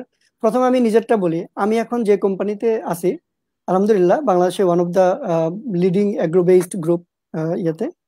সো এখানে কিন্তু আমার জবটা হয়েছে আপনার লিঙ্কডিন থেকে। সো লিঙ্কডিনের সাথে আমি যে বর্তমান আমাদের গ্রুপের যে চেয়ারম্যান মিস্টার মমিনুদ্দৌলা, ওনার সাথে আমি লিঙ্কডিনে ছিলাম। ওয়ান ফাইন মর্নিং উনি আমাকে কল করলেন, সরাসরি। সরাসরি কল করে বলল যে, আপনার সাথে একটু চা খেতে চাই। ফাইন ঠিক আছে, চা খাব। আমি তো এই গ্রুপকে আসলে চিন্তামই না ওইভাবে তখন, যেহেতু অ্যাগ্রো বেসড কোম্পানি তো পরে হলো এনিওয়ে সো আমরা যেমন এই যে এই সময়ে, আমার এই মাসে আমাদের প্রায় অলরেডি থার্টি থেকে ফর্টি রিক্রুটমেন্টস অলরেডি ডান এই মাসে। এটা কিন্তু সবগুলোই আমরা অনলাইনে করেছি। এটা আরেকটা লেসন আমাদের জন্য যে আমরা কিন্তু এই যে আজকের যে ডিজিটাল যে আপনার বেনিফিটটা এটা কিন্তু আমরা নিতেই হচ্ছে না, কোনো উপায় নাই। এবং এখানে কিন্তু আমাদের কারোরই কোনো ইয়ে নাই। এখানে কম্পিটিটিভ পরীক্ষার মাধ্যমে যারা আসছেন, তারাই। এখন রেফারেলের ব্যাপারটা হচ্ছে কি? এটা হচ্ছে যে আপনার শুধুমাত্র রেফারেল না রেফারেল একটা আছে। তারপরে আপনাদের যে আমাদের ইভেন আমাদের যে ওয়েবসাইট বা অন্যান্য আমাদের যে আপনার ইমেল একটা আছে ডেডিকেটেড ট্যালেন্ট ডট অ্যাকুইজিশন যেখানে কেউ সিবি দিয়ে রাখতে পারে, আমরা কিন্তু ওগুলিও দেখছি। আর আরেকটা জিনিস আমি বলে রাখি এক্ষেত্রে, সেটা হচ্ছে যে রেফারেন্স যে কেউ দিতে পারে। যেমন আমি একটা এক্সাম্পল দিই নর্মালি কি হয়, যেটা আপনি বললেন একটা মিসকনসেপশন এখানে তো সিপিও সুলতান ভাই সুলতান ভাইয়ের যদি পরিচিত কেউ থাকে, তার চাকরি আর মানে হবে কিনা না? হয়ে উপায় কি? ফ্যাক্ট হচ্ছে, আমার এখানে মিনিমাম আমি বলব গত কয়েক বছরে minimum fifteen to twenty candidate যেটা আমাদের গ্রুপ চেয়ারম্যানের ইয়ে ছিলেন রেফারেন্স ছিল। গ্রুপের চেয়ারম্যান হচ্ছে আমাদের, উনি হি ইজ দ্য অনলি আপনার yeah shareholder of the group উনার রেফারেন্সে চাকরি হয় নাই। সো আজকে এই এই এই সেশনে আসার আগেও আমার কথা হচ্ছিল ওনার একজন, আমাদের একজন এক্সিকিউটিভ ডিরেক্টরের রেফারেন্সে একজন ইয়ে ছিল। হচ্ছে না। কারণ উনি রেফারেন্সে শুধুমাত্র সিভিটা দিতে পারবে দ্যাটস ইট এরপরে যেটা আছে, ওইটা কমপ্লিট প্রসেসের মধ্য দিয়ে যারা আসবে, তাদের চাকরি হবে। আমি আমার রেফারেন্স আমার রেফারেন্স বলতে আমার অনেক রিলেটিভ এখানে পরীক্ষা দিয়েছে রিটার্নে ফেল করেছে আউট কিচ্ছু করার নাই। ইভেন আমার কোনো টিম মেম্বার আমাকে এটা জিজ্ঞেস করবে না যে, সুলতান ভাই, একে কি করব? না ওরা জানে যে এখানে কিছু করার নেই। শুধুমাত্র রেফারেন্সের সিভিটা শুধুমাত্র ওখানে আসবে। সো সিভিটা আমার ইয়েতেও আসতে পারে ফেসবুকে আসতে পারে লিঙ্কডিন আসতে পারে, আমার বিডি জবসে আসতে পারে, আমার একটা ট্যালেন্ট হান্ড কোম্পানি থেকে গ্রুপ থেকে আসতে পারে, আপনি ডিরেক্টলি পাঠাতে পারেন। আমার ইমেল যদি আপনার জানা থাকে ইউ ক্যান সেন্ড ইউর মানে সিভি নো ইস্যু বাট আমাদের যে প্রসেসটা সেটা কিন্তু স্ট্রিক্টলি আমরাও ফলো করি এবং আপনার মোস্ট অফ দ্য কোম্পানি কিন্তু এটাই ফলো করে। সো আপনি যদি মানে অরিজিনালিটি রাখতে পারেন, আপনি যদি রিয়েলি ট্যালেন্টেড হন, যে কোয়ালিটিসগুলো আমরা আগে বললাম, আপনার কিন্তু কোনো ভয় নাই। সো এই থ্যাংক ইউ আমার মনে হয় যে এখানে রেফারেন্সে রেফারেন্সে চাকরি হয় ভালোই হয়। কিন্তু আসলে ওই যে ব্যাপার হচ্ছে আপনি যদি পারফর্ম না করেন একটা সময় কিন্তু আপনি ঝরে যাবেন। তো সো কোম্পানিগুলো কেউ আত্মঘাতী সিদ্ধান্ত নেবে না একটা জিনিস। যেমন আমাদের কাছে অনেক সময় আসে যে স্যার চাকরি দরকার এসে কাকুতি মিনতি কাকুতি। তা আমি হয়তো অনেক সময় এটা করি যে এটা ট্রু যে আমি করেছি যে ঠিক আছে আমি তোমাকে ইন্টারভিউ বোর্ড পর্যন্ত পৌঁছাই দিই। And then then rest of the things এখন ওই জায়গাটাই হয়তো আমি বড় জোর অনেককে ফেভার করেছি যে ঠিক আছে হয়তো আমি স্ক্রিনিং পার্টটা হয়তো আমি তাকে স্কিপ করে দিয়েছি। কিন্তু ওইখানে গিয়ে যদি পারফর্ম না করতে পারো then I can't help you এখন তুমি দশটা দশটা ক্যান্ডিডেটের জায়গায় তোমার পারফরমেন্স যদি খারাপ থাকে তা how can I help you এটা তখন একটা ব্যাখ্যা থাকে। তো সো আমার মনে হয় যে এগুলো অনেকের এগুলোর দিকে চিন্তা করলেই কিন্তু মানুষ আসলে যেটা হচ্ছে মানুষের মন আরও দুর্বল হয়ে যাবে যে না, এটা আসলে ব্যাপারটাই the practical field is completely different ball game আচ্ছা আমি নেক্সট কোশ্চেনে যাই। আমরা আসলে মানে অল্প স্বল্প আলাপ করতে করতে ফোর্টি ফাইভ মিনিট চলে গেছে। What to do during the entry period and professional period যেটা হচ্ছে যে অনেক সময় আমরা চাকরি পাই না পাই না, দেখা গেল পেয়েই গেলাম। হোসেন মনে আছে কিনা জানি না। তোমাদের ক্লাসে আমি সব ক্লাসে করি। যে জিজ্ঞেস করছিলাম যে হোয়াট ইজ ইউর টার্গেট যে তোমার, তুমি দশ বছর পরে তোমাকে কি মানে কত টাকা স্যালারির চাকরি দেখতে চাও? আমার মনে হয় তোমাদের ক্লাসে সর্বোচ্চ যে বলেছিল পঞ্চাশ হাজার if I am not wrong কারণ তোমাদের ব্যাচকে আমার ভালোই মনে আছে। এখন এটা তো এখন বুঝতে পারতেছো পঞ্চাশ হাজার টাকা তোমরা অনেকে তুরিতে অনেক আগে ছাড়াই গেছো। তো তখন কিন্তু আমি একটা কথা বলছিলাম যে দিস ফিফটি থাউজেন্ড টাকার আরও টেন টাইমস তুমি আরও অনেক আগে পাবা লাইফ শেষ হওয়ার তিন ভাগ আগে পাবা। কিন্তু তারপরও তোমার মানে তোমার যদি থার্স থাকে দেখবা যে তোমার ওই তৃষ্ণাটা মিটতেছে না। Do you feel something like that from the probationary period যে এই যে যেদিন তুমি দুরু দুরু মন নিয়ে চাকরিটা করতে গেলা একটা নতুন এনভায়রনমেন্টে সেদিন মনে হয়েছে আমি পারব কি পারব না। সে অবস্থা থেকে আজকে যে তুমি কনফিডেন্ট আজকে যে তুমি তোমার টার্গেট টার্গেট সব ছাড়াই গিয়ে কোথায় যাবা এরপর আল্লাহ জানে। তো এই জায়গাটা একটু বলো কীভাবে এটা ম্যাচ করতে পারছ তুমি? আসলে স্যার, এই জায়গাটা খুব ইম্পর্টেন্ট একটা জায়গা। আমি, আপনি যেটা বলেছেন যে হ্যাঁ আলটিমেটলি সুযোগ পাওয়ার পরে এই সুযোগটাকে কাজে লাগানো। হ্যাঁ এটা অনেকেই দেখেছি যে আসলে সবকিছু ইন্টারভিউ ভালো দিয়ে সবকিছু করে আলটিমেটলি গ্রোথ পাইনি টিকে গেছে, কিন্তু পরবর্তীতে গ্রোথ হয়নি, এগোতে পারিনি। তো আমার কাছে, স্যার, যেটা মনে হয় যে, স্যার, সুলতান স্যার যেটা বলেছিলেন, জবে ঢোকার শুরুর দিন থেকেই আলটিমেটলি যেটা হওয়া উচিত যে লার্নিং অ্যাপ্রোচটা রাখা উচিত, যে হ্যাঁ মানে লার্নিং ফর দ্য হাঙ্গার যে আমি শিখতে চাই। আমি জানি না অনেক কিছুই, কিন্তু আমি শিখতে চাই। এই অ্যাপ্রোচটা রাখা উচিত। শুধু মনের মধ্যে রাখলেই হবে না, মানুষকে জিজ্ঞেস করতে হবে যে, ভাই, আমি এটা পারছি না, এটা কীভাবে করব, এটা কীভাবে করে?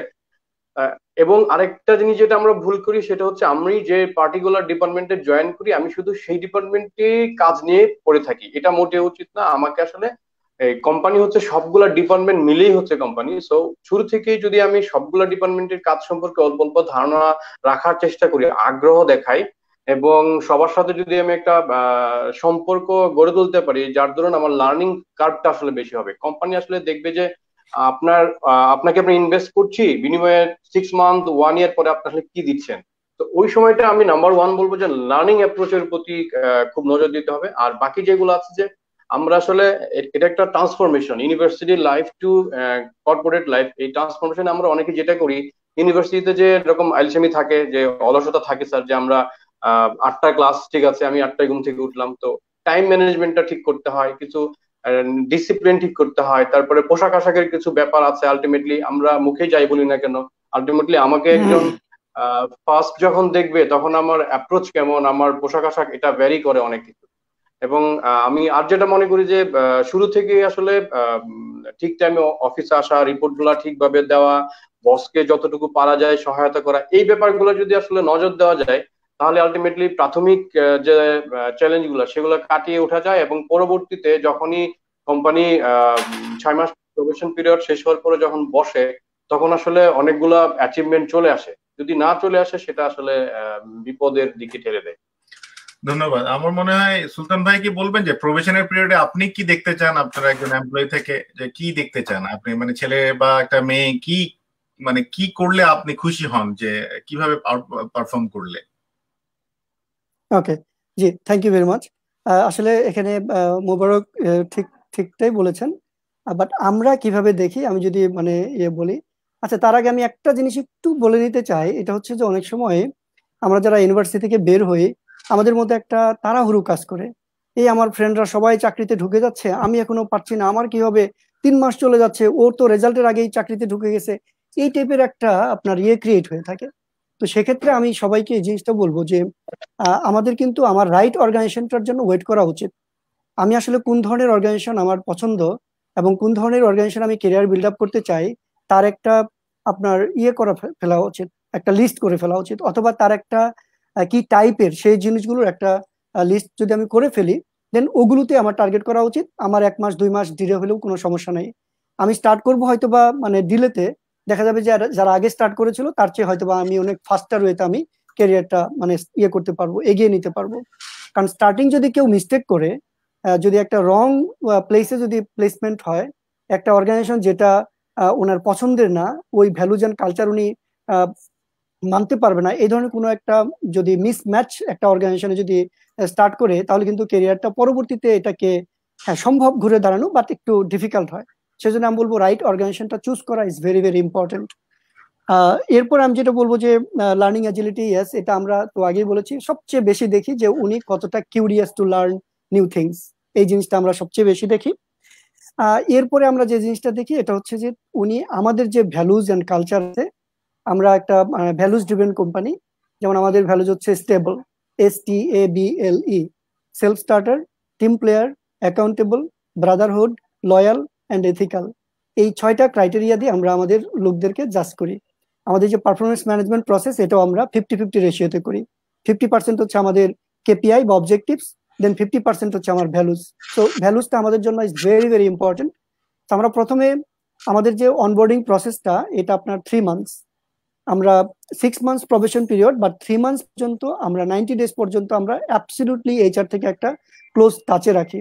এবং এই সময়টা আমরা যে জিনিসগুলো দেখতে চাই, ওনার লার্নিং অ্যাজিলিটি কি, উনি কতটা কমিউনিকেটিভ উনি টিমে কাজ করতে পারছেন কিনা, উনি কোম্পানির যে ভ্যালুজ অ্যান্ড কালচার সেটাকে অ্যাডপ্ট করতে পারছেন কিনা। এই জিনিসগুলো সবচেয়ে আমরা বেশি মানে দেখি। আমাদের তার এথিক্যাল স্ট্যান্ডার্ড কতটুকু, এই জিনিসগুলো যদি আমাদের কেউ অ্যাডপ্ট করতে পারে উইদিন থ্রি মান্থস দেন আমরা মনে করি উনি আজীবন চাকরি করলে কোনো সমস্যা নাই। মানে he or she could be the asset for the company এই জন্য আমরা ফার্স্ট থ্রি মান্থস তার line manager HOD HR business partner যারা আছে সবাই কিন্তু ওই জায়গাগুলোতে অ্যাডাপ্টেশন করার জন্য চেষ্টা করা হয়। এবং আমাদের তিন মাস পর যে নাইনটি ডেজ আমরা বললাম যে আমাদের অনবোর্ডিং প্রসেস এই নাইনটি ডেজ পরে আমাদের একটা ইভ্যালুয়েশন হয়। এটা তার মানে লাইন ম্যানেজার করে থাকে সাধারণত। এই যে এখানে দশটা ক্রাইটেরিয়া আছে ইনক্লুডিং যেগুলো আমি বললাম এর মধ্যে একটাও কিন্তু তার অ্যাচিভমেন্ট নেই কেপিআই নেই। একটা নট এ সিঙ্গেল ওয়ান শুধুমাত্র তার যে সফট স্কিল এবং যে অন্যান্য যেগুলি বললাম, এগুলো দিয়ে আমরা মূল্যায়ন করি ফার্স্ট থ্রি মান্থস সো অনেকেই যে একটা ইয়ে করতে থাকে, যে ঢুকার পরেই পারফর্ম করার চেষ্টা করে, এটা একটা রং আইয়া আমি আমার দিক থেকে আমরা বলি যেন আগে আমাদের অ্যাডপ্ট করা উচিত, সে অর্গানাইজেশন বোঝা উচিত, তার ভ্যালুস বোঝা উচিত, সেটাকে অ্যাডপ্ট করা উচিত, বাকি যে ক্রাইটেরিয়াগুলো যেগুলো আছে, ওগুলো মানে তো মানতেই হবে। তো আমি আরেকটা জিনিস আপনাদেরকে এখানে অ্যাসিওর করতে চাই গ্লোবালি কিন্তু এখন এই যে নাইনটি ডেজের যে অনবোর্ডিং প্রসেসটা এটা কিন্তু আপনার ইয়ে করা হয় প্র্যাকটিস করা হয়। আমি লাস্ট ইয়ারে একটা ট্রেনিং এ গিয়েছিলাম সিঙ্গাপুরে, ওখানে ব্রিটিশ এক প্রফেসর মিস্টার পল টার্নার ওনার একটা মানে ট্রেনিং করেছিলাম। তো ওখানে উনি কিন্তু সেম জিনিসটাই আমাদেরকে মানে বলেছেন এবং দেখলাম যে ওর পর থেকে আমরা এটা আরও বেশি আপনার স্ট্রেংদেন করেছি এই জিনিসটাকে। তো বাই দিস টাইম আরেকটা ইনফরমেশন দিয়ে রাখি, যেহেতু পল টার্নারের কথা আসলো পল টার্নার ইজ এ আপনার ব্রিটিশ প্রফেসর ওনার একটা বই এমপ্লয়ি এঙ্গেজমেন্ট এটা উনি ইয়ে পাবলিশ করেছেন ফ্রম সুইজারল্যান্ড ওখানে আই ওয়াজ ভেরি ফর্চুনেট যে আমাদের গ্রুপের একটা কেস স্টাডি ওখানে স্থান পেয়েছে এমপ্লয়ি এঙ্গেজমেন্টের উপরে। Employee engagement by Paul Turner professor Paul Turner ওখানে আমাদের একটা কেস স্টাডি আছে এমপ্লয়ি এঙ্গেজমেন্টের উপরে। Anyway thank you great nice to know that so এইখানে আমি আরেকটু অ্যাড করি। আসলে আমার কাছে যেটা মনে হয়, আমরা আমরা যখন অর্গানাইজেশন চালাতে যাই, তখন দেখি যে যেটা সমস্যা হয় ইন্টারভিউ বোর্ডে ক্যান্ডিডেটরা বলে যে সব করে ফেলব, মেরে ফেলব, ধরে ফেলব, কোনো ব্যাপার না, ঠিক আছে? তো প্রবলেম হয় যে যখন ডে ওয়ান থেকে কাজ করতে যায়, কাজ আর বুঝে না। কাজ শিখাতে গেলে দেখা যাচ্ছে কাজটা ওভাবে পিক করতে পারছে না।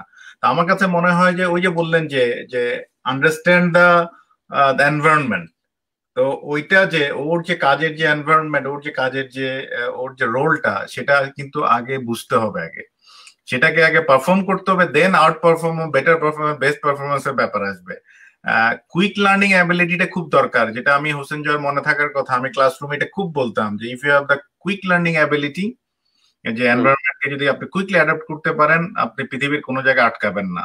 এবং এটাই হচ্ছে যে আপনার টার্নিং পয়েন্টগুলো হচ্ছে ওইটাই যে যে কোম্পানি দেখতে চাইবে যে are you helping your company কোনো না কোনো ভাবে। যেমন আপনি, আপনারা এটা সুলতান ভাই এগ্রি করবেন আমার সাথে। অনেক সময় দেখা যায় যে আপনি একটা লোককে অ্যাকাউন্টসে নিয়েছেন বা অথবা অ্যাডমিনে নিয়েছেন। তো হঠাৎ করে দেখলেন যে তাকে দিয়ে হচ্ছে না, কিন্তু তার অন্য কোনো গুণাবলী আছে। সে অন্য কোনো ভাবে কোম্পানিকে দেখা যাচ্ছে ভ্যালু অ্যাড করার মতো সামর্থ্য রাখে, তাকে কিন্তু আমরা বাদ দেই না। তার লয়্যালটির কারণে তার সেই যে অন্য জায়গায় ভ্যালু অ্যাড করতে পারছে তাকে অ্যাডমিন থেকে নিয়ে গিয়ে হয়তো আরেক জায়গায় কাজে লাগা পারচেজে কাজে লাগাচ্ছি, অথবা সেলসে কাজে লাগাচ্ছি। তো সো এই কোম্পানি কিন্তু চেষ্টা করে একজন লয়াল এমপ্লয়িকে সবসময় ধরে রাখার জন্য। সে কিন্তু রাইট ওয়ে সেজন্য পারফর্ম আপনার যে জায়গায় যেটা হচ্ছে সক্ষমতা আছে, সেটা আপনি কিন্তু প্রকাশ করবেন। কোম্পানি কিন্তু, সব কোম্পানি না হলেও বেশিরভাগ কোম্পানি কিন্তু সেটা পিক করবে পিক করে আপনাকে ধরে রাখার চেষ্টা করবে। তো আমার মনে হয় আমরা চ্যালেঞ্জেসগুলো মোটামুটি পেয়েছি, এই কোশ্চেনটা আর আমি নিচ্ছি না। আমি জাস্ট অ্যাড করছি যে যে আজকের ছেলেপেলেরা একটা বড় জিলেমার মধ্যে ঢুকে যে সিজিপি এর পিছনে দৌড়াচ্ছে। Four out of four three point nine five ইত্যাদি ইত্যাদি। আমি কখনোই ভালো ছাত্র ছিলাম না, অত মার্ক মার্কটা পাইনি বাবা আমাদের সময় জিপি টিপিও ছিল না। আপনি জানেন ভাইয়া, আমরা তো সিক্সটির ফার্স্ট ডিভিশনের ছেলে পেলে। এগুলো এখন হিসাব করলে বি মাইনাস টাইনাস হবে। তো সো যাই হোক তো আমার কাছে মনে হয় যে is it the right thing to like GPA achieve করা একটা জিনিস আর একটা হচ্ছে জিপিটাকে ডিফেন্ড করা। আমি যেটা ক্লাসরুমে বলি যে you you got four out of four but you to defend this four everywhere so what you think আপনি এই প্রশ্নের আলোকে যে সিজিপি এর যে একটা প্রতিযোগিতা শুরু হয়েছে আমাদের দেশে এটা কি ভাবে নিচ্ছেন? আমাকে করছেন হ্যাঁ সুলতান ভাই জি। ওকে ওকে আমরা সংক্ষিপ্ত অনেক সময় চলে যাচ্ছে আসলে হ্যাঁ ওকে ফাইন ফাইন আমি যদি খুব সংক্ষেপে বলি আমরা আসলে সিজিপিএটাকে আমরা যখন আমাদের রিক্রুটিং প্রসেসে অনবোর্ড ইয়েতে থাকি তখন এটাকে আমরা চিন্তাই করি না। কখনো এটাকে আমরা ইনফ্যাক্ট দেখিও না প্রায় সময়ে। কারণ এটা দিয়ে আসলে তো কাজ হয় না। আমি আমার আমার ইয়েতে বলছি আমি কিন্তু কাউকে খাটো করছি না আমি সরি আমি কাউকে আন্ডারমাইন করছি না অফকোর্স সিজিপি এর আলাদা একটা ভ্যালু অবশ্যই আছে। সেটাকে আমি মানে খাটো করছি না। বাট আমাদের প্র্যাকটিসে আমরা দেখি যে আমার যে কম্পিটেন্সিসগুলো দরকার এই কম্পিটেন্সিসগুলো মানে কার মধ্যে আছে। সো ওই জিনিসটা আসলে দেখে এখানে সিজিপিএ খুব একটা আমরা ইয়ে করি না। এখানে যে গুড মার্কিং রাখব বা ইয়ে করব এটা করি না। বরং কিছু কিছু ক্ষেত্রে যে বেস্ট ক্যান্ডিডেট যখন আমরা নেই না আমরা তো অলওয়েজ খুঁজি আসলে রাইট ক্যান্ডিডেট সো রাইট ক্যান্ডিডেটের ক্ষেত্রে অনেক সময় এটাও হয় এটাও আরেকটা আনফর্চুনেট অনেক সময় হয়ে যায়। সিজিপিএ যদি অনেক হাই থাকে কারও সেক্ষেত্রে আমরা একটু ডাবল কোশ্চেন মার্ক করি। যে উনি আদৌ আমার জন্য রাইট ক্যান্ডিডেট কিনা তাকে কিন্তু আরও বেশি স্ট্রং মানে কঠিন একটা ডিফিকাল্ট প্রসেসের মধ্যে দিয়ে যেতে হয়। আদৌ উনি কন্টিনিউ করবেন কিনা ওনার জবটা এটা রাইট কিনা এই জিনিসটা অনেক সময় হয়। সো এটার পজিটিভ নেগেটিভ দুইটাই আছে। বাট আমি এটা না বলব যে CGPA is not a matter in the মানে রিক্রুটিং প্রসেস অর ইভেন যে আপনি কর্পোরেট লাইফে কতটা সাকসেসফুল হবেন এটার জন্য।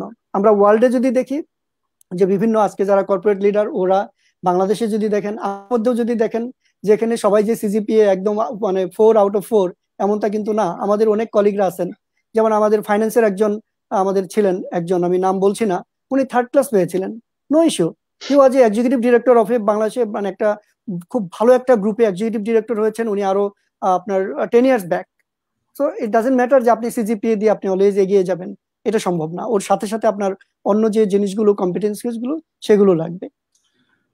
হোসেন জয়ের কাছে আসি। সেটা হচ্ছে যে আমি জানি না তোমার সিজিপিএ কত ছিল। ইউ নিড নট টু তুমি এক্সপোজ করতে চাইলে করতে পারো যে এই সিজিপি এর কারণে বা তোমার যে রেজাল্ট এটার কারণে কি তোমার কোথাও বাধার সম্মুখীন হতে হয়েছে? বা এটা কি তোমাকে যদি তোমার সিজিপিএ ভালো ছিল যদি থাকে সেক্ষেত্রে কি তুমি কোনো মানে এটা কি কি এটা হিসাবে ইউজ করতে পারছ? বা এরকম কিছু কি হয়েছে তোমার ক্ষেত্রে? স্যার প্রথমেই বলব যে স্যার আপনি একটু লক্ষ্য করে দেখবেন, আপনার যারা ব্রেক বেঞ্চের স্টুডেন্ট মনে আমার মনে হয় যে তারা ভালো করেছে, ভালো করছে। আর আমি পাবলিশ করি, সমস্যা নাই।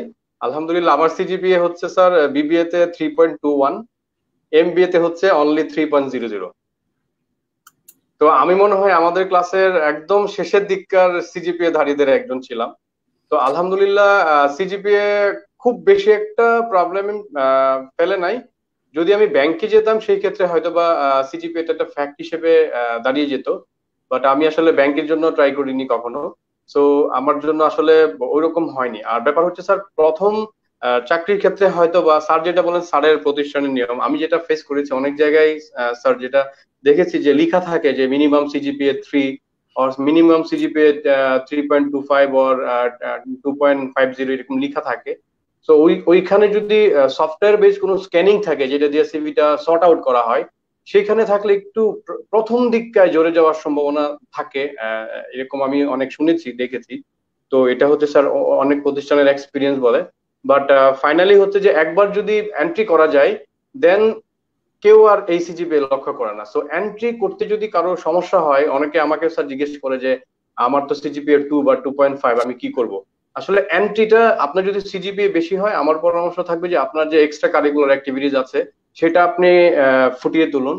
আপনার আপনি একটা ভালো এক জায়গায় ইন্টার্নশিপ করুন যেটা আপনাকে কর্পোরেট একটা লুক দেবে অনেক কিছু শিখতে পারবেন। এই লার্নিং গুলোকে কাজে লাগে আপনি যদি প্রথম জবটা পেয়ে যান দেন প্রথম জবের পরে আপনার সিজিপি আমার মনে হয় লিখারই দরকার নাই আই থিঙ্ক কোনো ভ্যালুয়েট করে না। আমি সুলতান স্যার সাথে একমত।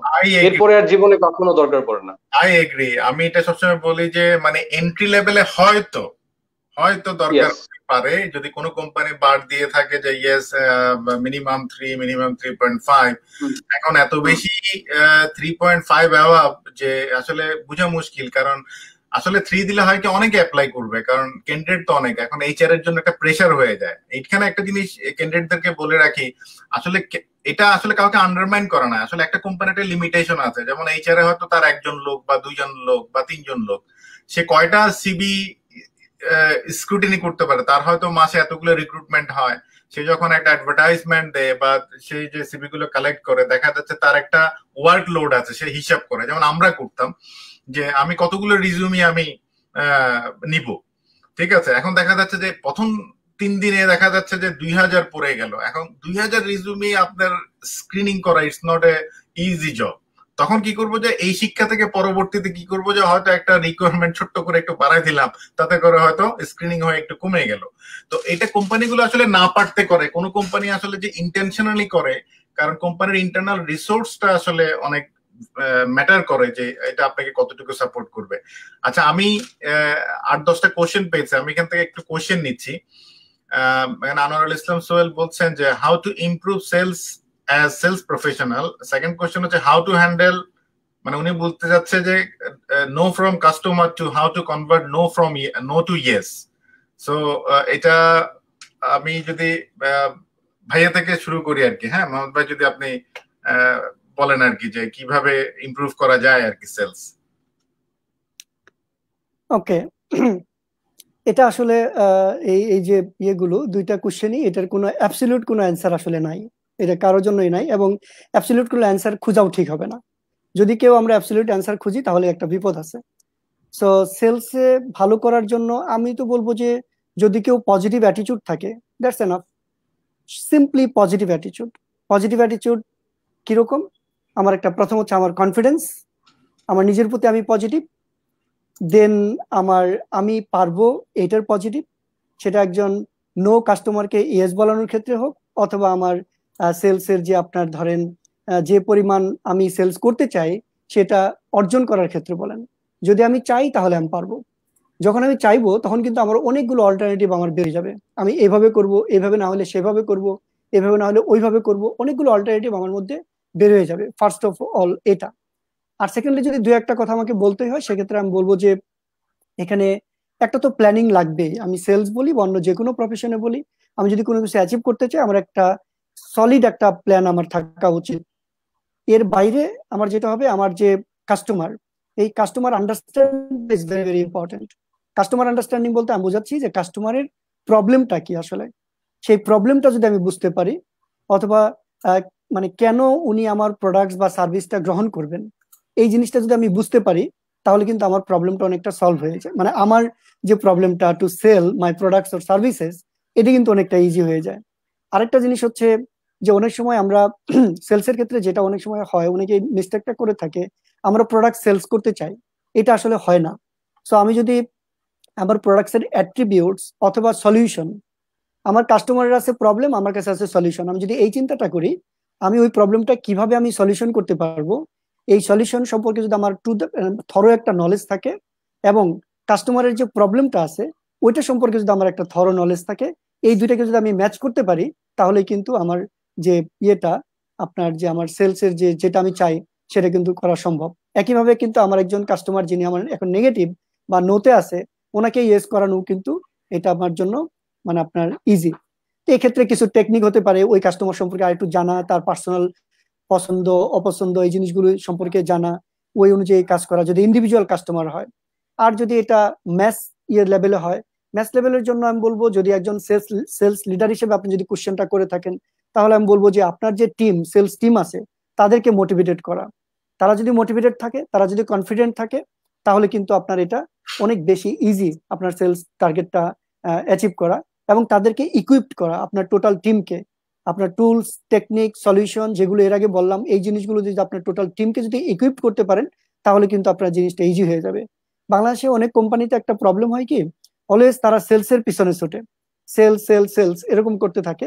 এবং পিপল ডেভেলপমেন্টের জন্য সময়টা একটু কম দেয় এক্ষেত্রে আমার পরামর্শ থাকবে আপনার যে টোটাল টিম তাকে ইকুইপ করেন তাদেরকে ডেভেলপ করেন right tools then right technique শেখান যে প্রোডাক্টস এর যে টেকনিক্যাল যে ইয়েগুলো আছে সলিউশনগুলো আছে এগুলো সম্পর্কে শেখান দেখবেন যে অটোমেটিক্যালি আপনি অ্যাচিভ করতে পারবেন। থ্যাংক ইউ আচ্ছা খুব সংক্ষিপ্ত ভাবে হোসেন তুমি যদি কিছু অ্যাড করার থাকে আর কি আসলে আমার স্যার আমার আসলে সত্যি কথা হচ্ছে কথা বলতে গেলে স্যার বুক কাপে। আমি আসলে সুলতান স্যার যখন হেড অফ সেলস গ্রামীণ ডানুনের, আমি তখন আসলে টেরিটরি সেলস ম্যানেজার নিতান্তই একদম বটম লেভেলের এমপ্লয়ি তো সেলস আসলে, আমি আসলে, তারপর আমি কিছু অ্যাড করছি স্যার। সেটা হচ্ছে যে, এই প্যান্ডামিক সময়ে আমি তো ফুটওয়ারে আছি। সো বাটা হচ্ছে যে মার্কেট লিডার এখন অ্যাপেক্স বাটা সমানভাবে লিড করছে। প্রায় আড়াই হাজারের মতো কোম্পানি আছে বাংলাদেশে ফুটওয়ার যারা সেল করে। তো যখন সবাই লকডাউনে বন্ধ হয়ে গেছে বাট আমরা যেই কাজটা করেছি এবং সাকসেস হয়েছি, সেটা হচ্ছে যে আমরা এপ্রিলের এক তারিখ থেকে একদিন পর পর আমাদের যে স্টেক হোল্ডার আছে like retailer like dealer like wholesaler সবাইকে আমরা জাস্ট নক করেছি, ভাইয়া, কেমন আছেন? সবাই ভালো আছে তো? এবং শেয়ার করেছি শর্ট শেয়ার করেছি, এমনি জাস্ট রিলেশনটা বিল্ড আপ করার চেষ্টা করেছি কন্টিনিউ করার চেষ্টা করেছি।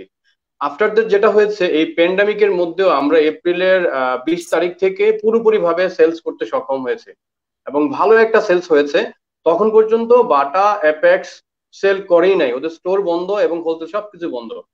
এবং আমরা মে মাসে মে মাসে আমরা শুধুমাত্র আমাদের কন্টিনিউয়াস কমিউনিকেশনের কারণে যে আমরা রিলেশনটাকে আরও বিল্ড আপ করেছি, শুধু বেসড অন দ্য কমিউনিকেশন আমরা এপ্রিল মাসে মানে লাস্ট টু ইয়ার্স এর মধ্যে সবচেয়ে বেশি সেল করেছি। এবং আমি তো আমি এটা বলছি এই কারণে একটা মাত্র জিনিস যেটা সেলসকে অনেক দূর এগিয়ে নিয়ে যেতে পারে সেটা হচ্ছে রিলেশনশিপ সময় দেওয়া। হ্যাঁ আমার মনে হয় এই কথাগুলো আমরা কিন্তু একাডেমিক বইপত্র পড়ি এবং আমরা স্ট্রেস দিই যে relationship will help you in every every every task will make the things easy তো সো আমার মনে হয় যে রিলেশনশিপ বিল্ড করাটা অনেক অনেক ইম্পর্টেন্ট কমিউনিকেশন করে হোক যেভাবে হোক যে হাই হ্যালো করেই কিন্তু হয়ে যাচ্ছে। আর রিলেশনশিপটা আসলে ফেক না। রিয়েল রিলেশনশিপ করলে কিন্তু যে কোম্পানিতেই যান না কেন আপনার সেলসটা আসবে। সেলস এমন একটা জিনিস আমি বলি এটা ইটস লাইক এ ফ্লাইবার টাইপের এটা রাবার বল টাইপের বা রাবার ব্যান্ড টাইপের আপনি আপনি যত টানবেন এটা লম্বা হবে। তবে এটার একটা ইলাস্টিসিটি আছে যে এটা কতটুক পর্যন্ত এটা আপনি টানতে পারবেন। কিন্তু এটা এটা ফ্লেক্সিবল এবং এই ফ্লেক্সিবিলিটি ডিপেন্ড করে আপনার পারফরমেন্সের উপরে। So every situation is unique every person is unique তাকে বোঝানোর একটা তরিকা থাকে। এই তরিকাটা আপনাকে ইম্প্রোভাইজ করে বের করে নিতে হবে। সেটাই সেলসম্যানের কৃতিত্ব আসলে। আচ্ছা আমি এখানে জাস্ট কোশ্চেন না কিছু কমেন্ট আছে। সাজ্জাদ উপল তোমাদের ব্যাচমেট রাইট মনে করাই দিচ্ছে যে দুই হাজার এগারো সালে তোমাদের ডিএমডি তোমার কথা বলেছে। সো শেয়ার করার জন্য ধন্যবাদ। ওইটাও মনে করাই দিচ্ছে আমি তোমাদের মার্কেটিং কোর্স নিছি আমার খেয়াল নেই অবশ্য। সো সুলতান ভাই বোধ হয় চিনতে পারছেন এই লোকটাকে সবুজ স্বপন বড়ুয়া আপনার ব্যাচমেট উনি দুষ্টামি করে আমাকে স্যার ডাকছে যদিও ভাইয়া আসসালাম আলাইকুম। ধন্যবাদ আপনি দেখার জন্য। দেখতে থাকেন আর আমাদেরকে সময় দিবেন পারলে তাহলে খুশি হব। অনেকেই ছোটখাটো অ্যাপ্রিসিয়েশন দিচ্ছে ওগুলো আমরা নিচ্ছি না। মোহাম্মদ সাইফের কিছু কোশ্চেন আছে।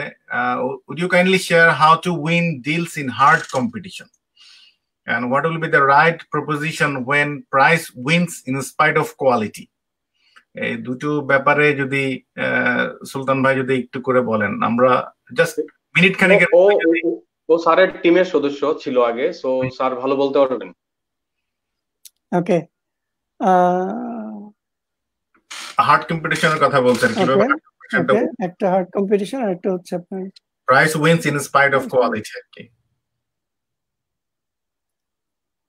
ওকে দুইটা আসলে প্রায় একই রকম। মানে দুইটাই যদি আমরা কম্পিটিটিভ ইয়ের মধ্যে নিতে চাই সেক্ষেত্রে অ্যাকচুয়ালি আমরা যখনই কম্পিটিশন কথাটা আসে তখনই কিন্তু কম্পিটিটিভ অ্যাডভান্টেজের কথাটা চলে আসবে।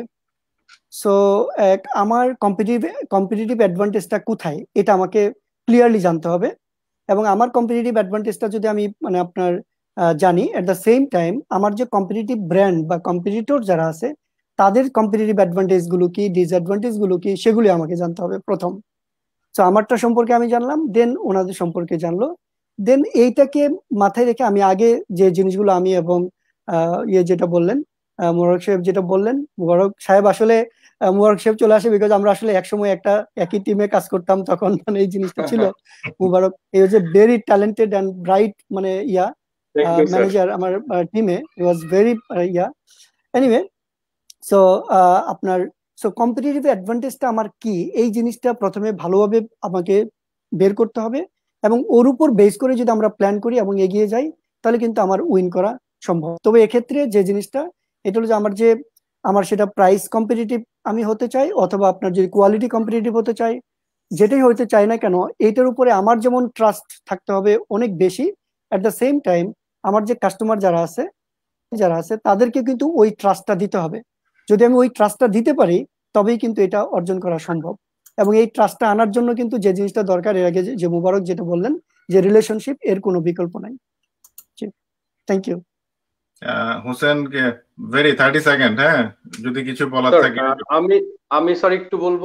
আমি আমার টিমকে বলি যে ভাই কখনো যে কোনো অবস্থায় তুমি কিছু পাবা এই আশায়। আই মিন হচ্ছে তুমি মানে অর্ডার নেওয়ার উদ্দেশ্যে তুমি কখনো সেলস কল দিবা না। তুমি ফোন দেবা মানুষকে ultimately build up a relationship ওই রিলেশনশিপ তোমাকে রেজাল্ট দিবে।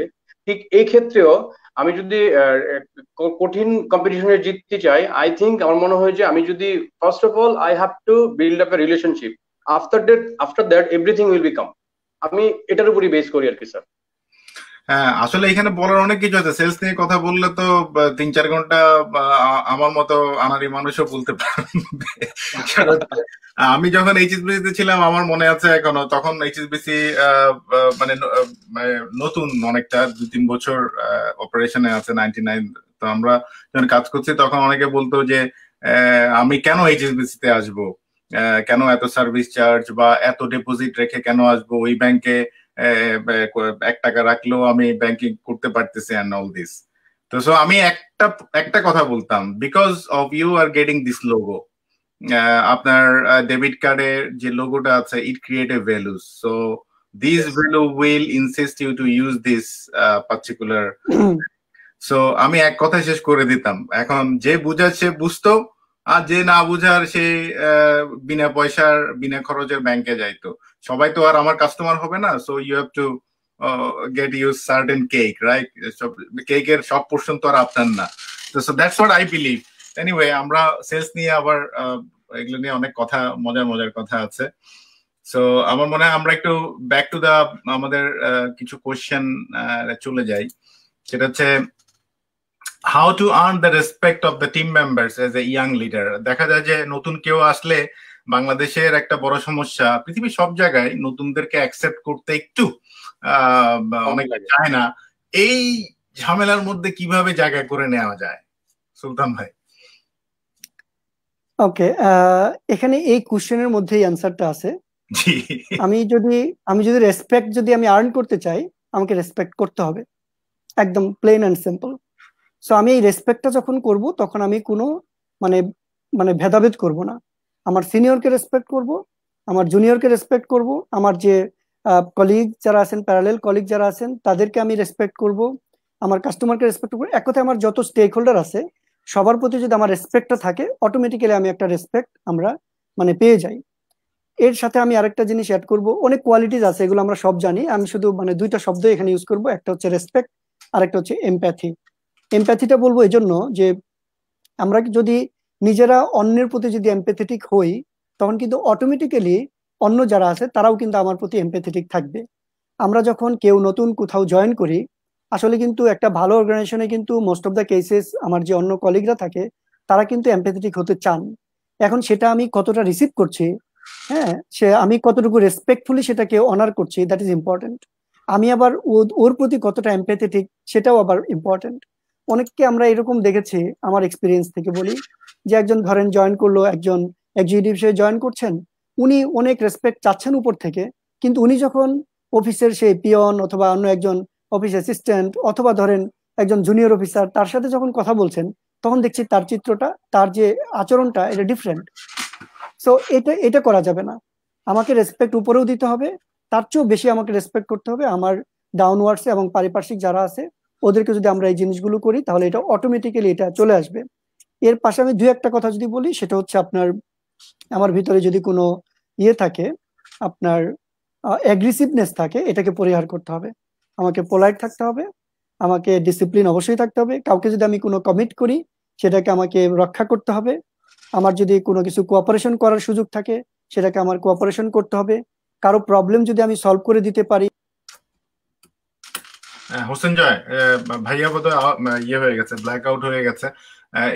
এই জায়গাটা যদি তোমার কিছু বলার থাকে যে লাইক আমার তুমি কীভাবে রেসপেক্ট আর্ন করছ যে it is very important sir আমার ক্ষেত্রে যেটা হয়েছে আলটিমেটলি আমি আলটিমেটলি দুই বছরে এরিয়া ম্যানেজার হয়েছিলাম।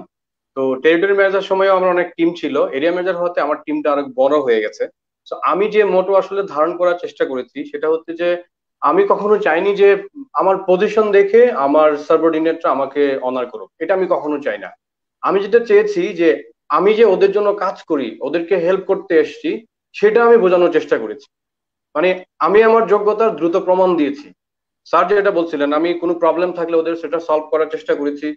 কোথাও কোনো ইমপ্রুভমেন্ট থাকলে সেটা আমি বলেছি। আমি আসলে প্রুভ করতে চেয়েছি যে ইয়েস আমি এখানে আসছি তোমাদেরকে সাপোর্ট দেওয়ার জন্য, তোমাদেরকে হেল্প করার জন্য। আমি যখন এই অ্যাপ্রোচে এগিয়েছি আলটিমেটলি ওরা যখন দেখেছে, না বস তো আসলে আমাকে হেল্প করার জন্য আসছে, আমার ভুল ত্রুটি ধরার জন্য আসেনি। সো আলটিমেটলি ও আমার ইয়ের মধ্যে চলে আসছে এবং আমি যেটা চেষ্টা করেছি যে স্যার যেটা বলেছেন যে ভালো ব্যবহার ইয়েস আমার মনে হয় যে বিনয়ী যদি আপনি হন বিনয়ী লিডারদেরকে আসলে সবাই অনার করে। আমি চেষ্টা করি একদম মানে ফ্রি অ্যান্ড ফ্র্যাঙ্কলি ওয়েতে কাজ করার এবং একটা ফিল দেওয়ার যে আমি তোমার বস না। ধরে নাও যে আমি তোমারই বড় ভাই, তোমাদেরই টিমেরই একজন। তুমি এখানে জব করো, আমি এখানে করছি, আমরা সেম আমি জাস্ট এখানে আছি তোমাকে হেল্প করার জন্য, যেন আমরা সবাই মিলে ভালো পারফর্ম করতে পারি। এটা আসলে আমার মোটো আর কি। আমি এভাবেই চেষ্টা করি। আমি এখানে একটু অ্যাড করি সুলতান ভাই ব্ল্যাক আউট হয়ে গেছিলেন। যাই হোক, আমরা আমার কাছে মনে হয় যে অনেস্ট থাকাটা বেস্ট আর একটা হচ্ছে নিউ লার্নারদের অনেক কিছু, যেমন যারা উপরের লেভেলে কাজ করে, তাদের অনেক অনেক ধরনের প্রেশার থাকে। কারণ তাদের উপর থেকে, নিচ থেকে নানা রকম। নিচের মানুষ যদি পারফর্ম না করে তাকে জবাব দিয়ে করতে উপরে। এই জিনিসগুলো কিন্তু নিচের মানুষগুলো অনেক সময় বুঝে না এবং সেটার রিফ্লেকশন কিন্তু অনেক সময় নিচের মানুষের কাছে চলে আসে। এবং আমার কথা হচ্ছে যে, যারা এন্ট্রি লেভেলে তাদেরও বুঝতে হবে যে, আসলে আমার বস কিন্তু একটা প্রেসারে থাকে। তার একটা টার্গেট থাকে, সে তাকে তার উদ্যোতন কর্মকর্তা, তার এক্সিকিউটিভ ডিরেক্টর অথবা এমডি কে তাকে জবাব দিতে হয় বা whatever the position is so সেই ক্ষেত্রে আপনাকে একটু সহনীয় হতে হবে। উনি হয়তো আপনাকে একটু বকাও দিতে পারে সামটাইমস যে একটু বকা না দিলে আসলে আমরা অনেক সময় সিরিয়াস হই না। তো ব্যাপারগুলোকে ইজি ভাবে দেখাও মানে অনেক এনভায়রনমেন্টের কথা বলছি। খুব হাম্বল থাকতে পারা তো ভালো। আমার অনেকে আছে না যে সবাই তো আসলে মেচুরিটি বা সবার অ্যাটিটিউড একরকম থাকে না। অনেকে একটু বকা দিয়েও শিখাতে চায় এবং সেখানের মধ্যেও কিন্তু খারাপ কিছু নাই। যদি অ্যাবসুলেট খারাপ ব্যবহার করে সেটা অন্য বিষয়। কিন্তু আমি বলছি যে অনেক সময় দেখা যাচ্ছে আমরা অনেক সময় একটু কর্কশ ভাবে না বললে আসলে আমরা শিখতেও চাই না। এটা কিন্তু আমাদের অনেক আমরা এক্স ওয়াই থিওরির মানুষ তো যারা এক্স থিওরি বিলং করে তারা কিন্তু হয় না। হ্যাঁ তো আমরা আসলে অনেক সময় চাই যে আমাদেরকে অজান্তে চাই যে আমাদেরকে কেউ পুশ করুক এবং পুশ করলে কিন্তু বেনিফিট এবং রেজাল্ট আসে এটা কিন্তু আপনারা স্বীকার করতে হবে। তো সো আরেকটা জিনিস এখানে আমি জাস্ট নিজে থেকে একটা কোশ্চেন বলছি যে bosses is always all right যেটা আমরা ক্লাসরুমে সবসময় বলি। এখন দেখা যাচ্ছে ইয়াং জেনারেশন যারা একটু লেখাপড়া করে অনেক কিছু জেনে গুগল টুগল করে এখন গুগলের যুগ মনে হচ্ছে যে আমার বস তো রাইট ট্র্যাকে নাই, সে ফেসবুকে লিখে দিল। এখন খুব দেখি আমি এটা। আমার স্টুডেন্টদের মধ্যে টেন্ডেন্সি দেখি যে জয়েন করার পরে সে চাকরিরত অবস্থায় যে বস আজকে হয়তো কিছু বলল, পুরো কাহিনীটাই সে ফেসবুকে তুলে দিল। এটা কতটুকু প্রফেশনাল সুলতান ভাই মনে করেন এটাকে? ওকে এটা তো একদমই প্রফেশনাল না ডেফিনেটলি আপনার আগের অ্যান্সার গুলোই ঠিক আছে আপনি যেগুলো বলছেন এটা একদমই ঠিক হবে না কারণ কি আমাদেরকে ইমোশনকে কন্ট্রোল করতে হবে আসলে। কর্পোরেট লাইফে ইমোশন আমাদের থাকবে ইমোশন ছাড়া তো আমরা বাঁচবো না। আবার এট দ্য সেম টাইম আমাকে মাথায় রাখতে হবে ইমোশনের জায়গা কিন্তু ওইটা না। ওইটা অনেক বেশি রেশনাল থাকতে হবে এবং এই ধরনের কোনো ঘটনা যদি ঘটেও থাকে তাৎক্ষণিক কোনো আপনার রিয়াকশন মানে করা ঠিক হবে না। তাৎক্ষণিক রিয়াকশনটা না করে পরবর্তীতে অনেক কোম্পানিতে যেমন ফিডব্যাক কালচার থাকে লাইক আমাদের কোম্পানিতে একটা ফিডব্যাক কালচার আছে। আমি যদি আমার বসের কোনো একটা জিনিস পছন্দ না হয়, আমি চলে এসে কোনো এক ফাইন টাইমে সময় নিয়ে আমি বলতে পারব যে, আপনি ওই দিন আমাকে এই কথাটা বলেছিলেন, এটা আমি এভাবে কষ্ট পেয়েছি, এটা করলে আমার এরকম এরকম প্রবলেম হয়। সো এই যে ফিডব্যাকগুলো, এগুলো অনেক প্রতিষ্ঠানে কিন্তু এটা থাকে। সো এটা দেওয়া যেতে পারে। ওই প্রতিষ্ঠানে যদি ইভেন এই ধরনের প্র্যাকটিস নাও থাকে উই ক্যান স্টার্ট সমস্যা নাই। আপনার আমি ছোট্ট একটা গল্প বলি এক্ষেত্রে এক মিনিট দেড় মিনিটে। মুবারক নিশ্চয়ই জানেন আমাদের আমার যে এক্স বস ছিলেন ড্যাননে উনি ছিলেন ফ্রান্স লেডি মানে করিন বাজিনা করিন বাজিনা। তো উনি আমাকে কিছু হলে যেহেতু আমি হেড অফ সেল ছিলাম আমার রিপোর্টিং ছিল প্রায় মানে মানে একটা শব্দ ইউজ করতো বুলশিট আমার বুলশিট শব্দ শুনলে আমার মাথায় রক্ত উঠে যেত আমি ম্যাচ খারাপ হয়ে যেত। একদিন ওকে বললাম যে দেখো তুমি এই শব্দটা ইউজ করলে আমার প্রোডাক্টিভিটি ফল করে আমার ম্যাচ খারাপ হয়ে যায় আমি ধরে রাখতে পারি না। তো পরে উনি আবার আরেকটা গল্প বললেন। এনি ওই গল্পটা আমি বলছি আমি সংক্ষেপ করছি। পরবর্তীতে এটা করার পরে উনি পুরোপুরি বুঝতে পারল এবং বলার পরে বলল যে ওকে সুলতান, আমি আই টেক কেয়ার এর পরবর্তীতে উনি কিন্তু আমার সাথে আর বুলশিট শব্দটা বলেননি। এবং হঠাৎ করে একদিন দেখলাম যে উনি আমাকে বলতেছে মানে হঠাৎ করে বুলশিট বলে ফেলছে। বলার পরে সে জিভাই কামড় দিয়ে বলতেছে no no no Sultan it's not bullshit it's cowshit তো কি তখন ব্যাপারটা হয়ে গেল কি? আমাদের একটা পুরা চূড়ান্ত রকম একটা নেগেটিভ জিনিস হয়ে গেল ফিডব্যাকের কারণে পজিটিভ তখন আমিও হাসতেছি, ও হাসতেছে। সো কোনো কিছুর সাথে সাথে রিয়াকশন না করে আমি বলব যে, ঠান্ডা মাথায় পরবর্তীতে বুঝিয়ে এটাকে একটা ফিডব্যাক যদি দেওয়া যায়, সবাই তো আমরা রক্ত মাংসে মানুষ, সবাই কিন্তু আমরা বুঝি। ওই জিনিসটাই করাটাই হচ্ছে আমি বলব যে প্রফেশনাল এবং অনেক ম্যাচিউড একটা ইয়া মানে আমি বলব যে ওয়ে অফ মানে গিভিং রিয়াকশন এবং আরেকটা জিনিস না করা, সেটা এক্সকিউজ আমরা কিন্তু অনেক সময় এক্সকিউজ বেশি দেই এই জিনিসটা যেন আমরা না করি। এক্সকিউজ আমি দেই বা না দেই আসলে কিন্তু সিনিয়ররা বুঝে। সে এক্সকিউজ দেওয়ার প্রয়োজন নাই। আমি যদি মনে করি যে এটা ভুল বলছে ভুল। আমি চলে আসলে উনি দেখবেন যে পরবর্তীতে আবার বলতেছেন। এই জিনিসগুলো আমরা না করলে অটোমেটিক্যালি আমার মনে হয় ভালো একটা এনভায়রনমেন্ট ক্রিয়েট হবে। ওইটাই আমরা হচ্ছে আর কি যে যে অনেস্ট ওপিনিয়ন দেওয়াটা ভালো যে হয় স্কিপ করা আর না হলে অনেস্ট ওপিনিয়ন দুইটার একটা। যে আমি হয়তো এড়াই গেলাম অনেক সময় টেকনিক্যালি এড়াই যেতে হয় অনেক কথা। সেটা টেকনিক্যালি যদি মনে করেন স্ট্র্যাটেজিক্যালি আপনার জন্য ভালো হয় সেটা আপনি স্ট্র্যাটেজিক ডিসিশন আপনি নিতে পারেন পার্সোনাল স্ট্র্যাটেজিক ডিসিশন কিন্তু আর সুযোগ কিন্তু ইভেন ফিডব্যাক না থাকলেও সুযোগ কিন্তু আসে। যেমন আপনি আজকে এই মাসে খুব খারাপ করলেন পরের মাসে খারাপ করলেন এক মাসে আপনি দেখলেন বেস্ট সেলসম্যান হলেন। আমি সেলসের কথা যদি বলি আপনি কিন্তু বস তখন একটা পিঠ চাপড়ে বলবে ওয়েলডার সেদিনও কিন্তু আপনার একটা সময় আসবে হেসে হেসে বলবেন স্যার আপনাকে তো আপনি হয়তো আমাকে ওদিন ওই কথা বললেন যে আজকে কিন্তু আপনাকে কিন্তু আমি কিছুটা অর্ধি প্রমাণ করতে পারছি। স্মার্টলি উত্তর দেওয়া যায় অনেক ভাবে যে সময়ের জন্য অপেক্ষা করতে হবে যে আমারও সময় আসবে কিন্তু সময় আনার জন্য কিন্তু নিজেকে পারফর্ম করতে হবে রাইট তো আমার যে আমরা অনেক সময় চলে যাচ্ছে তো একদম মানে ফিগার মানে আপনার জাস্ট কাপল অফ সেন্টেন্সে যদি বলেন যে কি কি স্কিল থাকলে, যেমন অন্যদের চাইতে ওয়ার্ক প্লেস একটু আগায় থাকা যায়। যেমন আমরা বলি যে কম্পিউটার একটু ভালো জানা। একটু আগে আমি বলছিলাম এক্সেল একটু ভালো জানা। ঠিক আছে? রিলেশনশিপ মেনটেন করা। হ্যাঁ এই জিনিসগুলোর মধ্যে আপনার কি মনে করছেন? যে কোন স্কিলগুলো স্পেসিফিক স্কিলগুলো, যে অন্যদের চাইতে একটু আপনাকে আগায় রাখবে ক্যান্ডিডেট হিসাবে? মানে অ্যাজ এ হোল যদি আমি বলি, তাহলে যেটা হয় যে আপনার, আমাদের কিন্তু হার্ড স্কিলে খুব একটা প্রবলেম হয় না। হার্ড স্কিল কিন্তু আমাদের অলমোস্ট সবারই সেম আমরা কিন্তু যখন ইউনিভার্সিটি থেকে একজন ছেলে বা একজন মেয়ে যখন বেরিয়ে আসে, কারও সিজিপিএ ফোর অথবা থ্রি পয়েন্ট এইট ওর মানে কাছাকাছি, আমাদের কিন্তু খুব বেশি পার্থক্য হয় না। আমাদের টোটাল পার্থক্যটা করে দেয় আসলে সফট স্কিল সো এই সফট স্কিলে যদি আমি পার্থক্য করতে পারি আমার নিজেদের মধ্যে, তাহলে আমি এগিয়ে থাকব। এই সফট স্কিলগুলোর মধ্যে কি, যেগুলো আমরা এতক্ষণ অনেকটাই আমরা আলোচনা করেছি। আমার লার্নিং অ্যাজিলিটি আমার ইমোশনাল ইন্টেলিজেন্স আমার আপনার এমপ্যাথেটিক এমপ্যাথেটিক মানে লিডারশিপ বা অন্যের প্রতি আপনার রেসপেক্ট ইয়ে করা এথিক্যাল স্ট্যান্ডার্ড মেনটেন করা হ্যাঁ? বা আপনার কমিটমেন্ট ঠিক রাখা, এই যে এই টাইপের যে জিনিসগুলো, যেগুলো সফট স্কিল এই জিনিসগুলো যদি আমার ভিতরে আমি ধারণ করতে পারি ডেফিনেটলি আপনার কিন্তু আমরা মানে যে যেখানেই থাকি না কেন, আমরা এগিয়ে থাকব অন্যদের চেয়ে। তো আমি হার্ড স্কিল নিয়ে কিছু বলব না এগুলো আমরা অনেকেই জানি এগুলো ইয়ে নাই। আমি শুধু এটুকুই বলব এই জায়গাগুলোতে আমরা একটু বেশি টেক কেয়ার করব। তাহলে ডেফিনেটলি আপনি এগিয়ে থাকবেন। হোসেন জয়। আমি স্ট্রিক্টলি বলি স্যারের সাথে একমত। একটা হচ্ছে যে পজিটিভ মনোভাব সব ক্ষেত্রে। যত সমস্যায় থাকুক পজিটিভ থাকা। দেন হচ্ছে আসলে দ্রুত যে কোনো সমস্যার সমাধান দেয়া। এটা মানে সমস্যা ঝুলিয়ে না রেখে সামনে যেটা আসবে যৌক্তিক সমাধান যেটা সেটা দেওয়া। তার হচ্ছে যে দায়িত্বের বাইরে আসলে কাজ করতে শেখা। দায়িত্বের বাইরে কাজ করতে শিখতে হবে। আরেকটা হচ্ছে স্যার যে পরিবর্তিত পরিস্থিতিতে মানিয়ে নেওয়া। লাইক এখন প্যান্ডামিক টাইম চলছে এখন আমি যদি আমার আগের শিডিউলে কাজ করি আগের টাইপে কাজ করি তাহলে কিন্তু হচ্ছে না।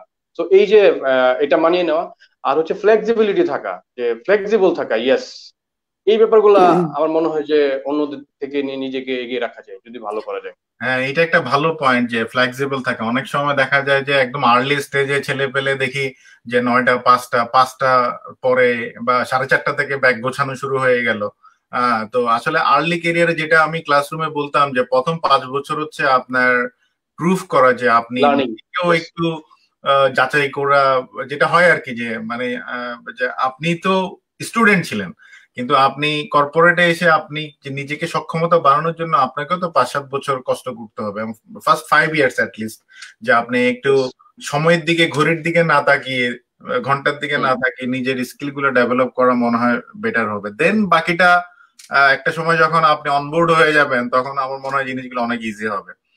তো এই যে প্যান্ডেমিক সিচুয়েশন আমরা তো আমি এখন ইউএসএ তে আছি ইউএসএ একভাবে চলছে, কিন্তু ইউএসএ তো জানেন যে সবচেয়ে বেশি সংক্রমিত। আমি ইউএসএ গল্প করার এজেন্ডা নাই। তো আমি জাস্ট বলছি যে বাংলাদেশের এখন কোম্পানিগুলো কীভাবে ম্যাচ করছে? আমি জানি, আমি খবর রাখি, কিন্তু আপনাদের যে কর্পোরেট জায়গায় কাজ করছেন যেসব জায়গায়, এখানে কীভাবে জিনিসগুলো সামাল দিচ্ছেন? যেহেতু এখন বাংলাদেশি সংক্রমণের হার বাড়ছে সবকিছু তো আর হোম হোম অফিস দিয়ে হয় না। তো যেমন সাপ্লাই চেইনের কথা যদি বলি এটা কীভাবে মেনটেন করছেন? সুলতান ভাই? জি। এটা আসলেই এমন একটা সিচুয়েশন বা এনভায়রনমেন্ট আমরা যাচ্ছি এই এক্সপিরিয়েন্স আমাদের কারোরই ছিল না। যত সিনিয়র লোকে আমরা থাকি না কেন আর যত জুনিয়রই থাকি না কেন এই জায়গাটাতে আমরা সবার এক্সপিরিয়েন্স আসলে সেম সো এটাকে সো এখানে যেটা এর আগে যেটা মুবারক বললেন যে অ্যাডাপ্টেবল আমি কতটা অ্যাডাপ্টেবল কতটা ফাস্ট আমি লার্ন করছি ফাস্ট অ্যাডপ্ট করছি দ্যাট ওয়াজ মানে অনেক ইম্পর্টেন্ট ছিল এই জায়গাটাতে। আমি আমার এক্সপিরিয়েন্সটা যদি বলি, আমরা যেটা করেছিলাম, যখন আমরা এই সিচুয়েশন বাংলাদেশে আসলো, তখনই কিন্তু আমরা প্রিডিক্ট করতে পেরেছি যে এই সময়টা আসলে নর্মালি লিঙ্গার হবে, একটু লম্বা সময় যাবে। এবং সেটার জন্য আমরা লাস্ট বাংলাদেশে তো টোয়েন্টি ফাইভ ফিফথ মার্চ থেকে লকডাউন মানে অফিসিয়ালি আপনার বন্ধ হয়েছে।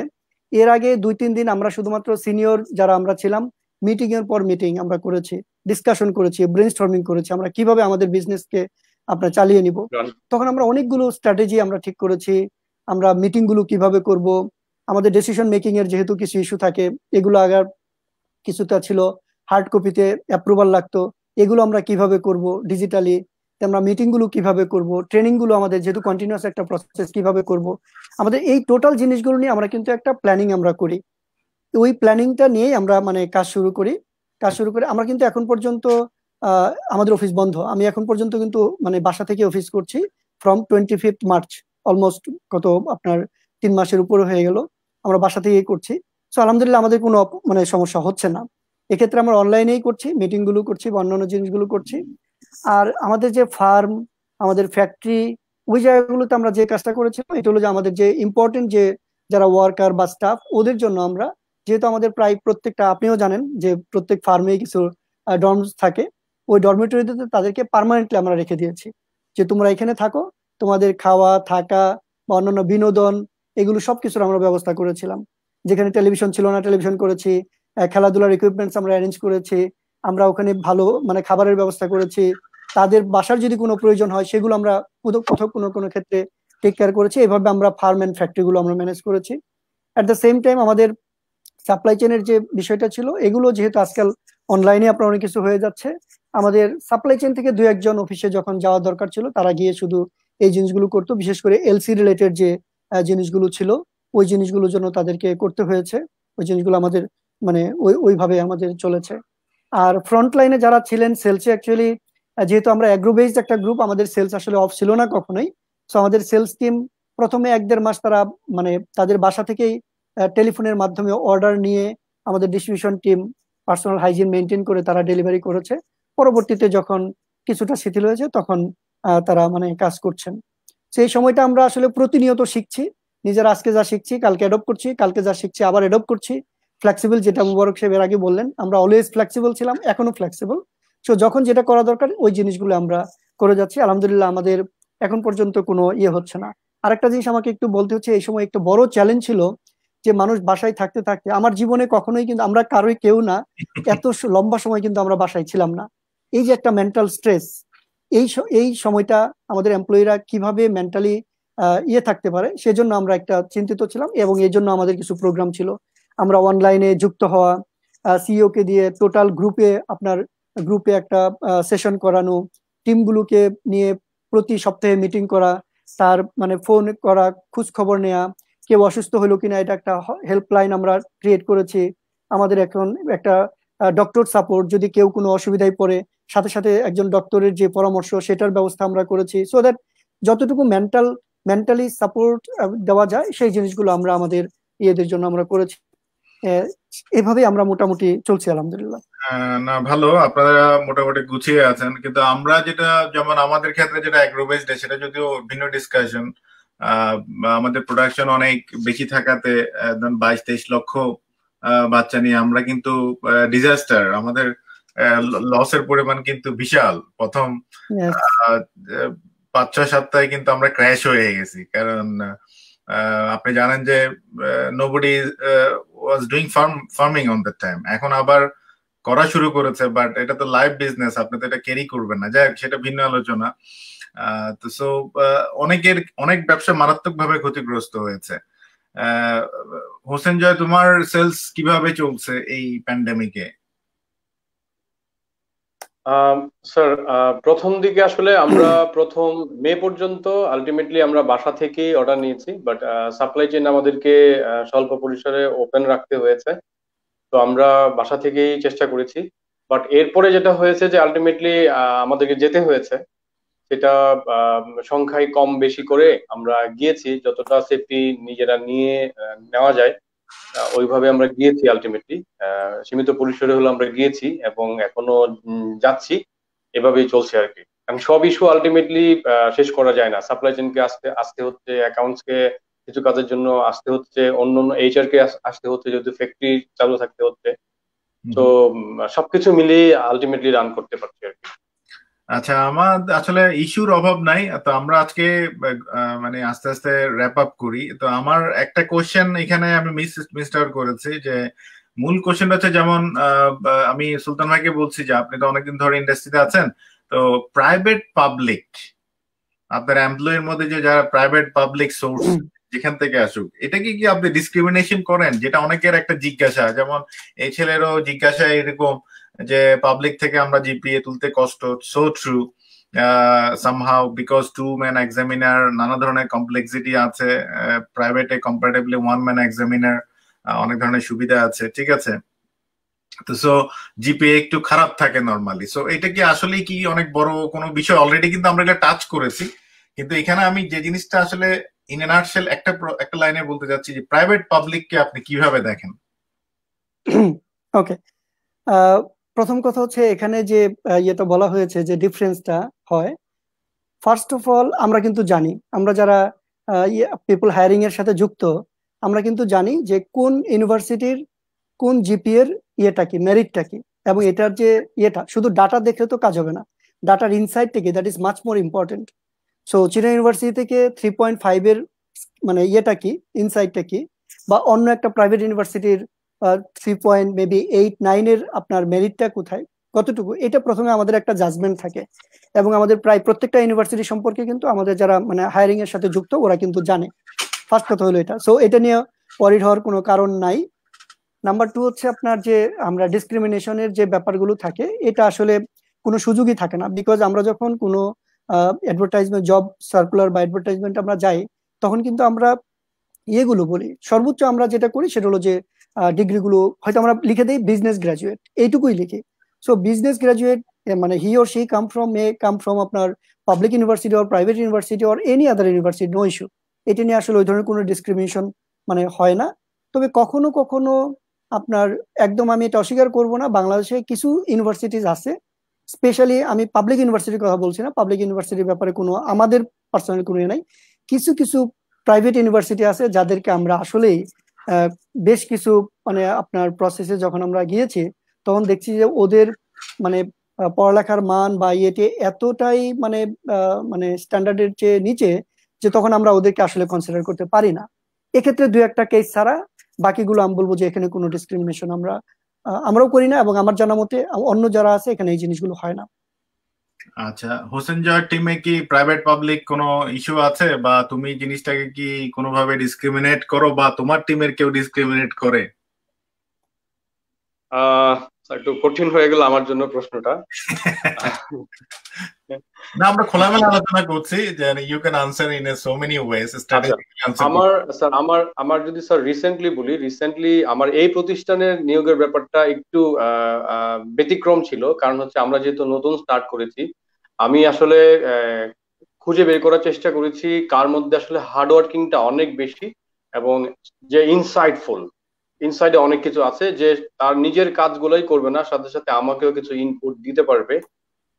সেই ক্ষেত্রে আলটিমেটলি দেখা গেছে যে ফাইনালি যারা সিলেক্টেড হয়েছেন, অধিকাংশই আসলে পাবলিক ইউনিভার্সিটি বাট এটা ইন্টেনশনালি করা হয়নি, যেহেতু আমি ক্রাইটেরিয়া সেট করে দিয়েছি যে ইনসাইটফুল হতে হবে এবং হার্ড ওয়ার্কিং হতে হবে। সেই ক্ষেত্রে আমি এটা কীভাবে জানি মিলে গেছে যে আমার যেগুলো আছে ম্যাক্সিমামই হচ্ছে যে আমি পয়েন্ট অ্যাড করি সেটা কি সেটা কি এই জন্য তোমার মনে হয় যে প্রাইভেট ইউনিভার্সিটির ছেলে মেয়েরা একটু বড় লোকের ছেলে মেয়ে তারা একটু হার্ড ওয়ার্ক কম করতে জানে দেখা যাচ্ছে পাবলিক ইউনিভার্সিটির ছেলেরা একটু মফসল টফসল থেকে আসে একটু হার্ড ওয়ার্ক তারা জীবনের উপলব্ধিটা একটু বেশি জানে। লোয়ার মিডল মিডল ক্লাস থেকে আসে। তোমার কি মনে হয় যে is there any correlation sir ultimately এখন যেটা হয় যে, অনেক ছেলেপেলে আছে যারা আসলে পাবলিকে চান্স পায় না। অনেক সাধারণ ঘরের ছেলে প্রাইভেটে পড়ে। তো ওরাও পরিশ্রমী, কিন্তু আমার ক্ষেত্রে আসলে সত্যিকার অর্থেই যেটা হয়েছে আর কি লাস্ট ইয়াতে যেটা হয়েছে যে আমি অনেকগুলাই সিভি থেকে একশোর বেশি লোকের সিভি থেকে আসলে শর্ট আউট করে যখন দশ বারো জন নিয়ে আসলাম ক্রাইটেরিয়া বেস করে আলটিমেটলি দেখা গেছে পাবলিক ইউনিভার্সিটির যারা আছে তারা আলটিমেটলি ভালো করছিল। আমি আসলে আমার এই মুহূর্তে দরকার ছিল একদম কোর জায়গায় কাজ করবে, অনেক বেশি ফিল্ড ওয়ার্ক সাথে সাথে অফিস ওয়ার্ক এবং সবগুলা ডিপার্টমেন্ট অর্গানাইজ না, সবকিছু গুছিয়ে নিতে পারবে, যে ছেলে আসলে ক্লাব করেছে ডিবেট করেছে এক্সট্রা কারিকুলাম অ্যাক্টিভিটিস ছিল, সব দিক থেকে ওকে ভালো ইংলিশ জানে প্রেজেন্টেশনে বলো এভরিথিং যখন আমি আসলে সর্ট আউট করতে গিয়েছি, তখন আমি দেখলাম যে যারা আসলে এইগুলা করেছে, তারাই উঠে এসেছে এবং কম্পারেটিভলি পাবলিকের ছেলেরা মনে হয় যে বেশি জড়িত এই সকল কার্যক্রমে। আমার কাছে যেটা মনে হয় আচ্ছা, আমি এখানে don't don't make me wrong আমার মানে যারা শ্রোতা শুনছেন বা এটা এয়ারে থাকবে অনেক অনেক দিন ধরে এটা অনেকে শুনবেন ব্যাপারটা আমি কিন্তু অনেক পুরানো মানুষ যে প্রাইভেট পাবলিকের মধ্যে ডিফারেন্সটা করা না করানোর জন্য ছেলে মেয়েদেরকে রিকোয়েস্ট করে সেটা হোসেন জয় অন্তত সাক্ষী এবং হোসেন যখন বা তারও আগের স্টুডেন্টরা যখন নর্থ সাউথ আসে আমাদের সময় আসছে নর্থ সাউথ কিন্তু এরপর নর্থ সাউথে যখন ফ্লোরিশমেন্টটা হচ্ছিল বা এরপর নানা রকম এই ধরনের ইউনিভার্সিটি ব্র্যাক বা আদার ইউনিভার্সিটি ওয়েস্ট এগুলো আসলো ছেলে মেয়েদের মধ্যে একটা মারাত্মক ধরনের লো কনফিডেন্স দেখা যাচ্ছিল যে স্যার আমরা তো শেষ। তো আমার মনে হয় যে আমি তোমাদেরকে টাচ দেওয়ার চেষ্টা করতাম তখন যে নো দেয়ার ইজ নো এক সময় থাকবে যে there will be no public and private matter আমার মনে হয় এটা আস্তে আস্তে করে যাচ্ছে সেদিকে।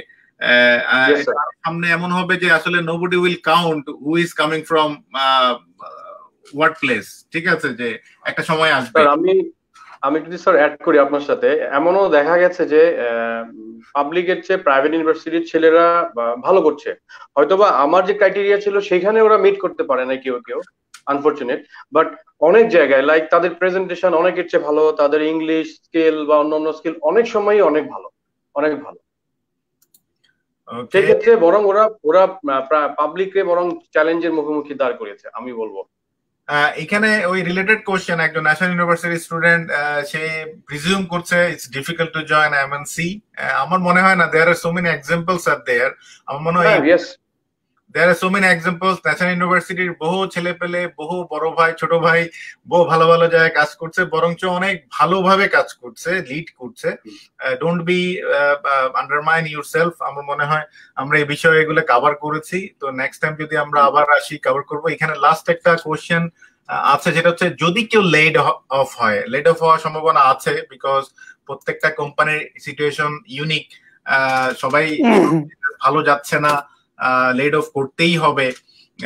সো যদি হয় কেউ এই ক্ষেত্রে কীভাবে একটা এমপ্লয়ি বাউন্স ব্যাক করে আবার ট্র্যাকে আসবে এই বিপদের মধ্যে? আবার এটার সাথে আমি একটু রিলেট করি এই সময় যারা গ্রাজুয়েটেড হচ্ছে তারা কিন্তু তাদের জন্য অবভিয়াসলি অন্য আট দশটা মানে ইয়ারের চাইতে এটা একটা চ্যালেঞ্জিং টাইম সুলতান ভাই যদি এই দুই শ্রেণির মানুষ ছেলে পেলেদের জন্য যদি একটু আশার বাণী কোনোভাবে শোনাতেন আর কি? থ্যাংক ইউ প্রথমই হচ্ছে আপনার, আমরা যেহেতু আমরা কিন্তু কথাগুলো বলছি বাংলাদেশের পার্সপেক্টিভে যদি আমি নেই, তাহলে এই প্যান্ডামিকের এই প্যান্ডামিকের যে ইম্প্যাক্টটা নেগেটিভ ইম্প্যাক্টটা এটা কিন্তু as a agro based economy আমরা কিন্তু বাংলাদেশে এটার ইম্প্যাক্টটা অনেক কম হবে। এর আগেও যখন আপনার রেসেশনগুলো ছিল, আপনার এর আগে যে আট নয়ের দিকে গ্লোবাল যে আপনার ক্রাইসিস ছিল রেসেশন ছিল, তখনও কিন্তু আমরা খুব একটা ইয়েতে ছিলাম না ইম্প্যাক্টেড ছিলাম না। এখনও এই প্যান্ডামিকের কারণে ইয়াস সাময়িক একটা প্রবলেম আমাদের যাচ্ছে, একটা অস্থিরতা যাচ্ছে বাট এটা কিন্তু ওয়ার্ল্ডে যতটা স্থায়ী হবে, বাংলাদেশে আমরা অনেক দ্রুত ইনশাল্লাহ আমরা ইয়ে করব, এটাকে কাম ব্যাক করব। প্রথম কথা হচ্ছে এটা, সবার জন্য। আমি ফার্মলি বিলিভ করি এবং বাংলাদেশে, আপনি দেখেন মানে অ্যাগ্রো বেসড ইয়াস আপনি, আমি জানি আপনাদের কিছু, দুই একটা বিজনেসের জন্য সাময়িক বেশ প্রবলেম গিয়েছে, সেটা আমি জানি, এবং সেটা কিন্তু আবার অলরেডি মোটামুটি একটা লেভেলে চলে আসছে। সো এটা কিন্তু আসলে আমরা এজ এ মানে নেশন আমরা কিন্তু অনেক লড়াকু। আমাদের ফার্মার কমিউনিটি যারা, ওরাও কিন্তু অনেক আপনার সাহসী কনফিডেন্ট ওরা যে কোনো সিচুয়েশনকে কিন্তু অতীত আমরা দেখেছি, ওরা দ্রুত কাম করে। আর ওভারঅল যেহেতু আমাদের এটা মানে ইকোনমিটা আপনার অ্যাগ্রো বেসড এবং অ্যাগ্রো সেক্টরটা আমাদের ভুমিং আমি যদি পোলট্রি বলি ডেইরি বলি, আপনার কালচার বলি, অথবা আপনার ক্রপ মানে ক্রপ এগ্রিকালচার বলি প্রতিটা সাইডেই কিন্তু আমাদের ডেভেলপমেন্টটা অনেক বেশি। এবং এজ এ ডেভেলপিং কান্ট্রি আমাদের কিন্তু সামনের দিনগুলোতে অ্যাগ্রো বেসড যে ইন্ডাস্ট্রিগুলো সেগুলো কিন্তু আপনার অনেক ফ্লোরিশ করবে। সো এই সবগুলো জিনিস যদি আমি কনসিডার করি এটার যে ইম্প্যাক্ট লং টার্ম ইম্প্যাক্ট আমাদের ইনশাল্লাহ অনেক কম পড়বে এবং আমরা দ্রুত এখান থেকে কাটিয়ে উঠবো। সো এখানে সবাই ক্যান বি হোপফুল এটা হচ্ছে একটা। আরেকটা কোশ্চেন আপনাকে জিজ্ঞেস করব কারণ আমি বললে তো আমি তো বলতে বলতে হয়রান। যে এখানে কিন্তু অনেক ভালো ভালো যারা আমি ভালো ভালো বলতে যারা কেরিয়ার সম্বন্ধে খুব সচেতন, তারা কিন্তু অ্যাগ্রোবেস ইন্ডাস্ট্রিকে কিন্তু টার্গেট করে না এজ এ ক্যারিয়ার চয়েস হিসাবে। এখন আপনি বলেন যে করা উচিত কি উচিত না? ওকে এটা একটা চমৎকার মানে ইয়ে বলছেন, আমার নিজেরও একটা ভিতরের একটা জিনিস নিয়ে আসেন থ্যাংক ইউ সো মাচ এটা আমরা যারা এখন, যারা মানে আমরা জব মার্কেটে আসব বা আমরা ফ্রেশার তাদের জন্য এটা কিন্তু একটা চমৎকার একটা অপরচুনিটি কারণ বাংলাদেশের জন্য যদি আমি নেক্সট অপরচুনিটি গুলো যদি ধরি, তাহলে কিন্তু অ্যাগ্রো অ্যাগ্রো বেইজ যে ইন্ডাস্ট্রিগুলো সেগুলো মানে সামনে এগিয়ে যাবে। আপনি আপনাদের ক্ষেত্রে দেখুন, আপনারা অনেক পুরনো মানে ইয়া মানে কোম্পানি গ্রুপ অফ কোম্পানি এই অ্যাগ্রো সেক্টরে আপনারা কিন্তু অনেক মানে কি বলে, অনেক চ্যালেঞ্জ পার করে এসছেন অনেক কিছু করে আসছেন। আজকে যারা অ্যাগ্রোতে আসছে, তারা কিন্তু একটা রেডি মার্কেটে ইন করছেন।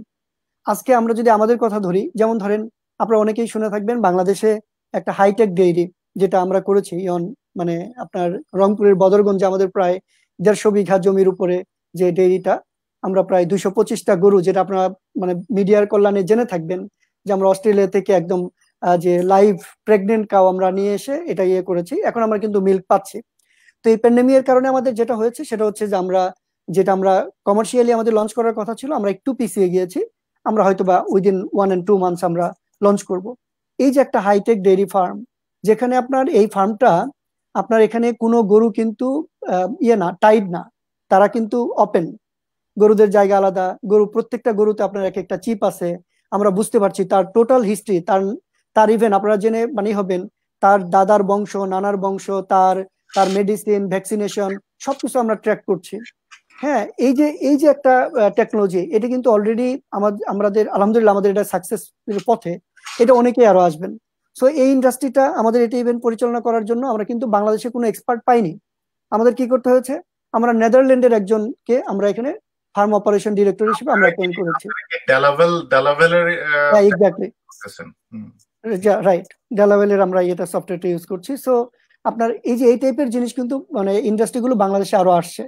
বাংলাদেশে অ্যাগ্রো বেসড মানে আরও এরকম অনেক ইন্ডাস্ট্রি আসছে এবং বাই দিস টাইম যারা আছে মানে আপনারা আছেন আমরা আছি কাজী গ্রুপ আছে প্যারাগন আছে মানে আপনার আফতাব আছে রাইট আপনার এরকম কিন্তু অনেকগুলো গ্রুপ অফ কোম্পানিজ আছে যারা প্রত্যেকটাই, আমি জানি প্রত্যেকটা গ্রুপই কিন্তু ইন টার্মস অফ ফিনান্সিয়াল তারা স্ট্রং তাদের কর্পোরেট কালচার কম্পারেটিভলি অনেক প্রতিষ্ঠানের থেকে এদের ভালো এবং আপনার যদি আমি কম্পিটিটিভ মানে প্যাকেজ বলি, সেটাও আমি বলব যে মানে কম্পিটিটিভ অন্যদের চেয়ে জব যদি আমি বলি যে সাস্টেইনেবিলিটি সিকিউরিটি অথবা লং টার্ম যে কাজ করার প্রবণতা এটাও কিন্তু অনেক হাই সো কনসিডারিং অল এবং সামনের ইয়েতে আমি বলব সবার জন্য যে এটা একটা could be a very good আপনার মানে ইন্ডাস্ট্রি টু মানে সার্ভ এটা আমি একটা বলব জি।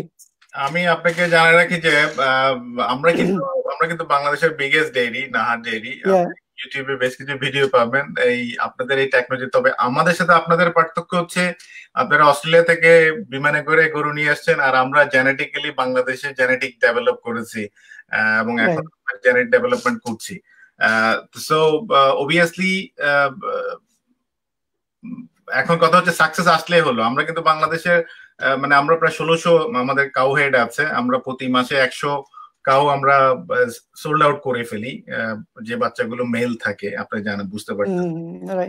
তো সো ইটস নট ইজি এবং আমরা কিন্তু এটা অনেক এটা অন্য বিষয় যাই আমরা এটা যেহেতু আজকের আলোচনা আনলে এটা একটা বিশাল আলোচনা হয়ে যাবে। তো আমি বলছি যে আমরা ভালো লোক তো পাই না যেমন আমরা চায়না থেকে লোক আনতে হয় টেকনিক্যাল যেমন আমাদের এখানে চায়না থাইল্যান্ড বহু টেকনিশিয়ান কিন্তু কাজ করে। ব্যাপার হচ্ছে এই কাজগুলো আমাদের দেশের লোকরা করলে কিন্তু এই টাকাটা আমাদের দেশে থেকে যেত। আমিও একটু কম টাকায় লোকটা পেতাম। হম আপনি এটা বুঝতে পারতেছেন। মজার ব্যাপার হচ্ছে আমার এখানে এটা কাজগুলো আহামরি না কিন্তু আমাদের ছেলেপেলেরা রিমোটে গিয়ে কাজ করতে চায় না। তারা বলে যে আমরা আমি কি অজপাড়াগে কাজ করার জন্য এম এমবিএ করছি? আমি ওখানে লাক্সারি ওখানে বাংলোতে থাকতে দেওয়া হয়। শুধু পার্থক্য এইটুকুই যে সে হয়তো সেই কম্পাউন্ডে থাকতে হচ্ছে। কিন্তু ওইখানে যে আরামায়েশ যে নেচার সেটা কিন্তু আমরা ঢাকা শহরে বা চিটাং শহরে আমরা পাই না। তো আউটলুকটা আমি এখানে জানি না কজন শুনছেন শুনবেন। I am not celebrity again but এয়ারে থাকবে এটা ডিপেন্ড করে যে কজনই শুনছে। একটা মানুষ যদি শুনে আসলে একটা মাইন্ডে যদি শুনে এটা আপনাদের আউটলুক চেঞ্জ করা উচিত যে বাংলাদেশ মাছ চাষে এখন সেকেন্ড বা থার্ড এটা কিন্তু যাতা ব্যাপার না। বাংলাদেশ ধান ধান চাষে স্বয়ংসম্পূর্ণ। এখানে এই যে আমি যে বেল্টে থাকি লিনোইতে এখানে আপনার আমি কালকেই একটা লাইভে বলছিলাম যে এখানে জিপিএস দিয়ে কাল্টিভেট করা হয়, যে ল্যান্ডগুলো আপনার একশো, দেড়শো একর প্লেন ল্যান্ড হ্যাঁ তো জাস্ট ভিডিও গেমের মতো সে বাসায় বসে সে কাল্টিভেশন করছে অ্যান্ড অল দিস ছোট ল্যান্ডগুলো সে ট্রাক্টর দিয়ে করছে এবং সেটাও একটা মজার ব্যাপার। উইদিন টোয়েন্টি ফাইভ মিনিটস এ দেখা যাচ্ছে আমার সামনে একটা পনেরো একরের ল্যান্ড আছে পনেরো বিশ একরের। সে ফার্মার আমি একদিন দেখলাম যে ঘুম থেকে উঠলাম দেখলাম সে একটা বড় একটা ট্রাক্টর নিয়ে আসলো পিছনে একটা বিশাল ইয়ে এবং within twenty five to thirty minutes এ পুরো হাল দেওয়া শেষ এবং গাড়ি চলে গেল। যে অথচ বাংলাদেশে যদি ওই পনেরো একরের মধ্যে না হলে পনেরো হাজার আইল আছে। We are wasting our land আমাদের দেশটা এমনি ছোট তার উপর আবার এইসব আইল টাল দিয়ে আরও ল্যান্ডকে আরও স্কুইজ করে ফেলছি এবং আবার যাই হোক এগুলো অন্য বিষয়।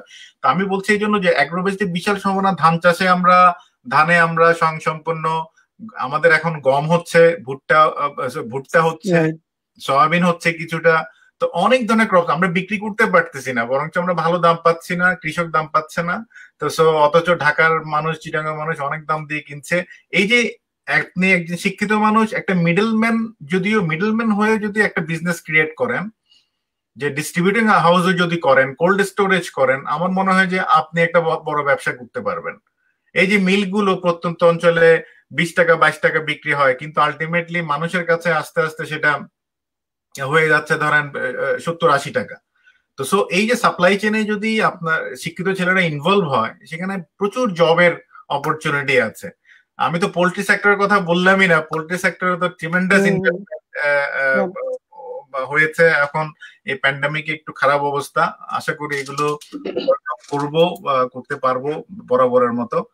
আমি হোসেন জয়ের কাছে আসব যে তোমার টিমে কি মানে লেড অফ হওয়ার কোনো সম্ভাবনা আছে? বা তোমার কোম্পানির সারাউন্ডিংসে কি মনে হয়? স্যার আমাকে একটু দুই মিনিট সময় দিবেন। আমি কতগুলো ব্যাপার ক্লিয়ার করতে চাই। কারণ আপনার সাথে আপনি আছেন মানে এখানে মানে কয়েকশো স্টুডেন্ট আছে যারা আসলে গ্রাজুয়েশন শেষ করেছে করবে। এখন তো আমি আউট অফ সিলেবাস এখন আমি হচ্ছে যে এখন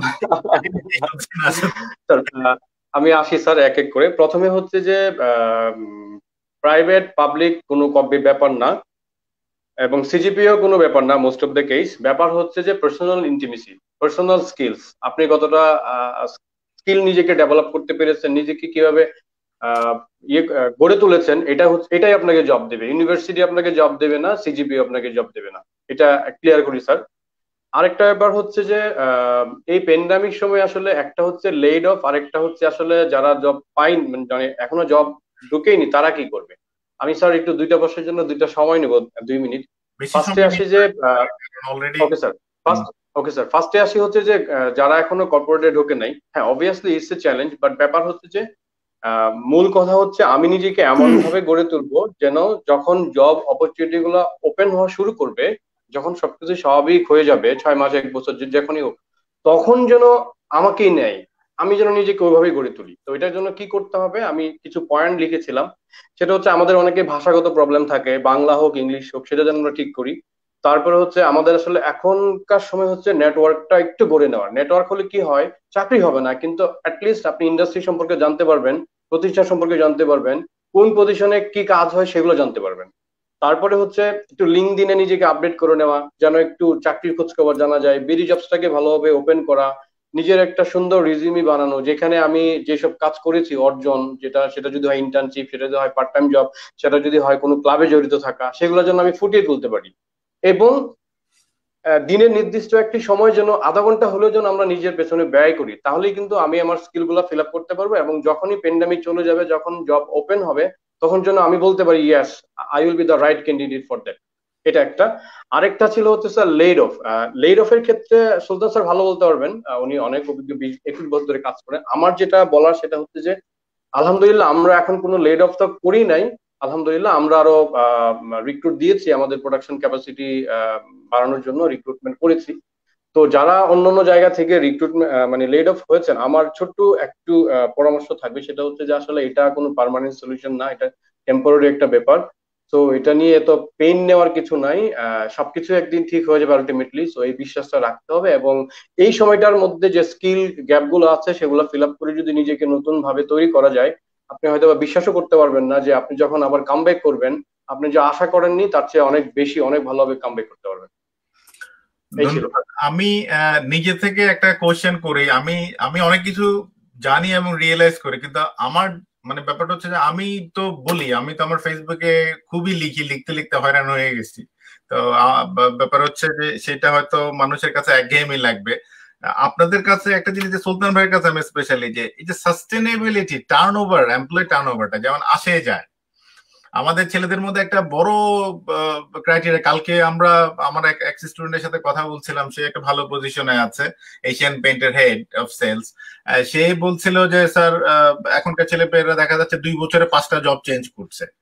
এখন সুলতান ভাই এটাকে আপনি কীভাবে দেখছেন? এটা কি আসলে ভালো কিছু কি ফ্রেশ গ্রাজুয়েটরা যে ঢুকেই যে এভাবে যে সোয়াপ করছে জব খুব বেশি। ওকে এটা আমি যদি একটু পিছনে যাই, আমি যেটা বলছিলাম যে রাইট অর্গানাইজেশন চুজ করা। আসলে আমি শুরুতেই বলব যে আমি যেরকমটা, আমি যেরকম চাই বা একটা ওরকম রাইট একটা ভালো অর্গানাইজেশন চুজ করা ফার্স্ট ওখানে একটু টাইম নেওয়া উচিত। আর ঢুকার পরে আমি বলব যে এই যে একটা টেন্ডেন্সি ছিল একটা সময়ে মানে একটা সময় আমরা এরকমও শুনতাম যে যদি তুমি যদি দুই, তিন বছরের মধ্যে যদি চাকরি চেঞ্জ না করো, তোমার ডেভেলপমেন্ট হবে না। এটা কিন্তু আমাদের সিনিয়ররা বা আমাদের কিছু মিসকনসেপশন কিন্তু আমাদের মধ্যে ঢুকিয়ে দিয়েছে। এটা নিয়ে কিন্তু একটা ইয়ে ছিল। বাট যদি আমার এক্সপিরিয়েন্স বলেন অথবা আমার যে, যেভাবে আমরা চলছি বা দেখছি, এটা হচ্ছে যে এই এই এই ধরনের জিনিসগুলো যারা করে, ওরা ইনিশিয়ালি মনে করে কি, আজকে আমি এখানে হয়তো একটা পজিশনে আছি, আমি চেঞ্জ করলে বেটার পজিশন পেলাম in terms of designation by the by not role আমাদের না আরেকটা বড় প্রবলেম হচ্ছে, আমরা রোলটা দেখি না। রেসপন্সিবিলিটি কি এটা না দেখে আমরা দেখি আমার ডেজিগনেশন কি। আমি এখন বলতে পারব, আমার, আমরা যখন স্টার্ট করি ক্যারিয়ার তখন আমাদের, আমার একজন ফ্রেন্ড ছিলেন, উনি শুরুতেই জয়েন করেছিলেন ডেপুটি ম্যানেজার যে ডেপুটি ম্যানেজার হইতে আমার পাঁচ বছর লাগছে, উনি শুরুতেই জয়েন করেছিলেন ডেপুটি ম্যানেজার কিন্তু আজকে যদি আমি কম্পেয়ার করি, তাহলে কিন্তু এটা ম্যাচ করবে না। বা এটা দশ বছর আগে হয়তো বা ম্যাচ করেনি। সো মানে এই যে ডেজিগনেশনের জন্য অথবা এক জায়গার চেয়ে আরেক জায়গায় ফাইভ থাউজেন্ড টাকা বেশি পাওয়ার জন্য টেন থাউজেন্ড টাকা বেশি পাওয়ার জন্য আমরা যখন, অথবা এখানে আমি ম্যাচ করতে পারছি না, ওখানে মেবি ওখানে নদীর ওপারে নাকি অনেক সুখ, এই টাইপের যে মেন্টালিটি নিয়ে আমরা যে চেঞ্জগুলো করি, এটা কিন্তু আমাদেরকে আলটিমেটলি পিছিয়ে দেয়। আমরা হয়তো সাময়িকভাবে মনে করি যে আমি লাভবান হচ্ছি, কিন্তু আপনি যদি আফটার টেন ইয়ার যান যিনি দেখবেন যে কন্টিনিউয়াসলি লেগে আছেন, উনি কিন্তু অনেক এগিয়ে থাকে। আমি আমার অনেকগুলো ফ্রেন্ড সার্কেলের কথা বলব আপনারা এর মধ্যে অনেকেই সাজুকে চিনবেন। শাহনওয়াজ আহমেদ সাজু আমাদের ফার্স্ট ব্যাচের আবুল খায়ের গ্রুপে জয়েন করেছে এখনও আছে। বিপুল সরকার পিএইচপি গ্রুপে চিরঙ্গে জয়েন করেছেন এখনও আছে। আপনার এরকম মানে অনেকেই আছেন যারা আপনার জয়েন করে কিন্তু ওখানে আছে। আমি যদি আমার গ্রুপ অফ কোম্পানিজের কথা যদি বলি জি? নেওয়াজ ভাই বোধহয় বার্জের অনেক বছর আছে। রাইট আপনি আমাদের গ্রুপে যদি আমরা বলি যারা অফিসার হিসেবে এখানে জয়েন করেছিল তারা আজকে কেউ কেউ বিজনেস হেড তারা ফাইন্যান্স হেড তারা আপনার ইয়ে আমি একমাত্র অবশ্য নতুন এখানে, তবু পাঁচ বছর চলছে। সো আমি বলব যে যদি রাইট অর্গানাইজেশন থাকে রাইট প্ল্যাটফর্ম থাকে, যদি ম্যাচ করে যায়, তাহলে সহজে সুইচটা না করা, বরং আমার ডেভেলপমেন্টের সুযোগ আছে কিনা, আমার পার্সোনাল ডেভেলপমেন্ট আমার কেরিয়ার ডেভেলপমেন্টের সুযোগ যদি অর্গানাইজেশনে থাকে, তাহলে ওখানে লেগে থাকা, নিজের সর্বোচ্চটাকে উজাড় করে দিয়ে কাজ করা এক্সট্রা মাইলেজে কাজ করা, আপনার এক্সট্রা বাউন্ডারিতে কাজ করা, বিভিন্ন নতুন নতুন কাজে নিজেকে এঙ্গেজ করা so that you can prove এবং এটা প্রুভ করতে পারলেই কিন্তু অর্গানাইজেশনের উপরে ওঠা সম্ভব।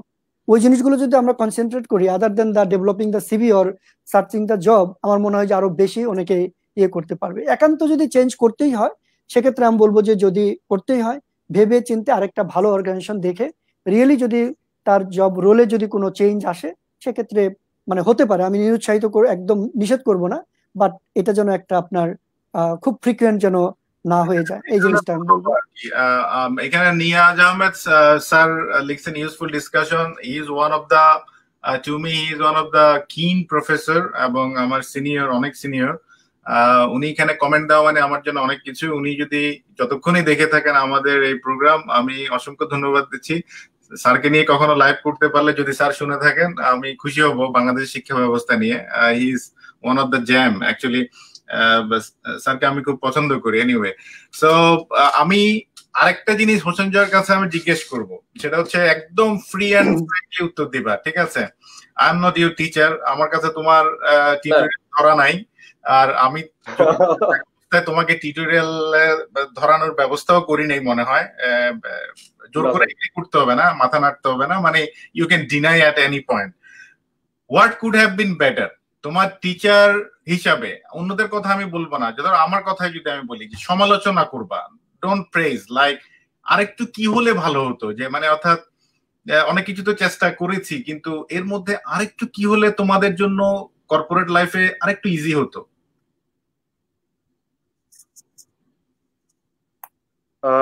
আচ্ছা আমি যখন আমি বুঝতে পেরেছি। আমি বুঝতে পেরেছি।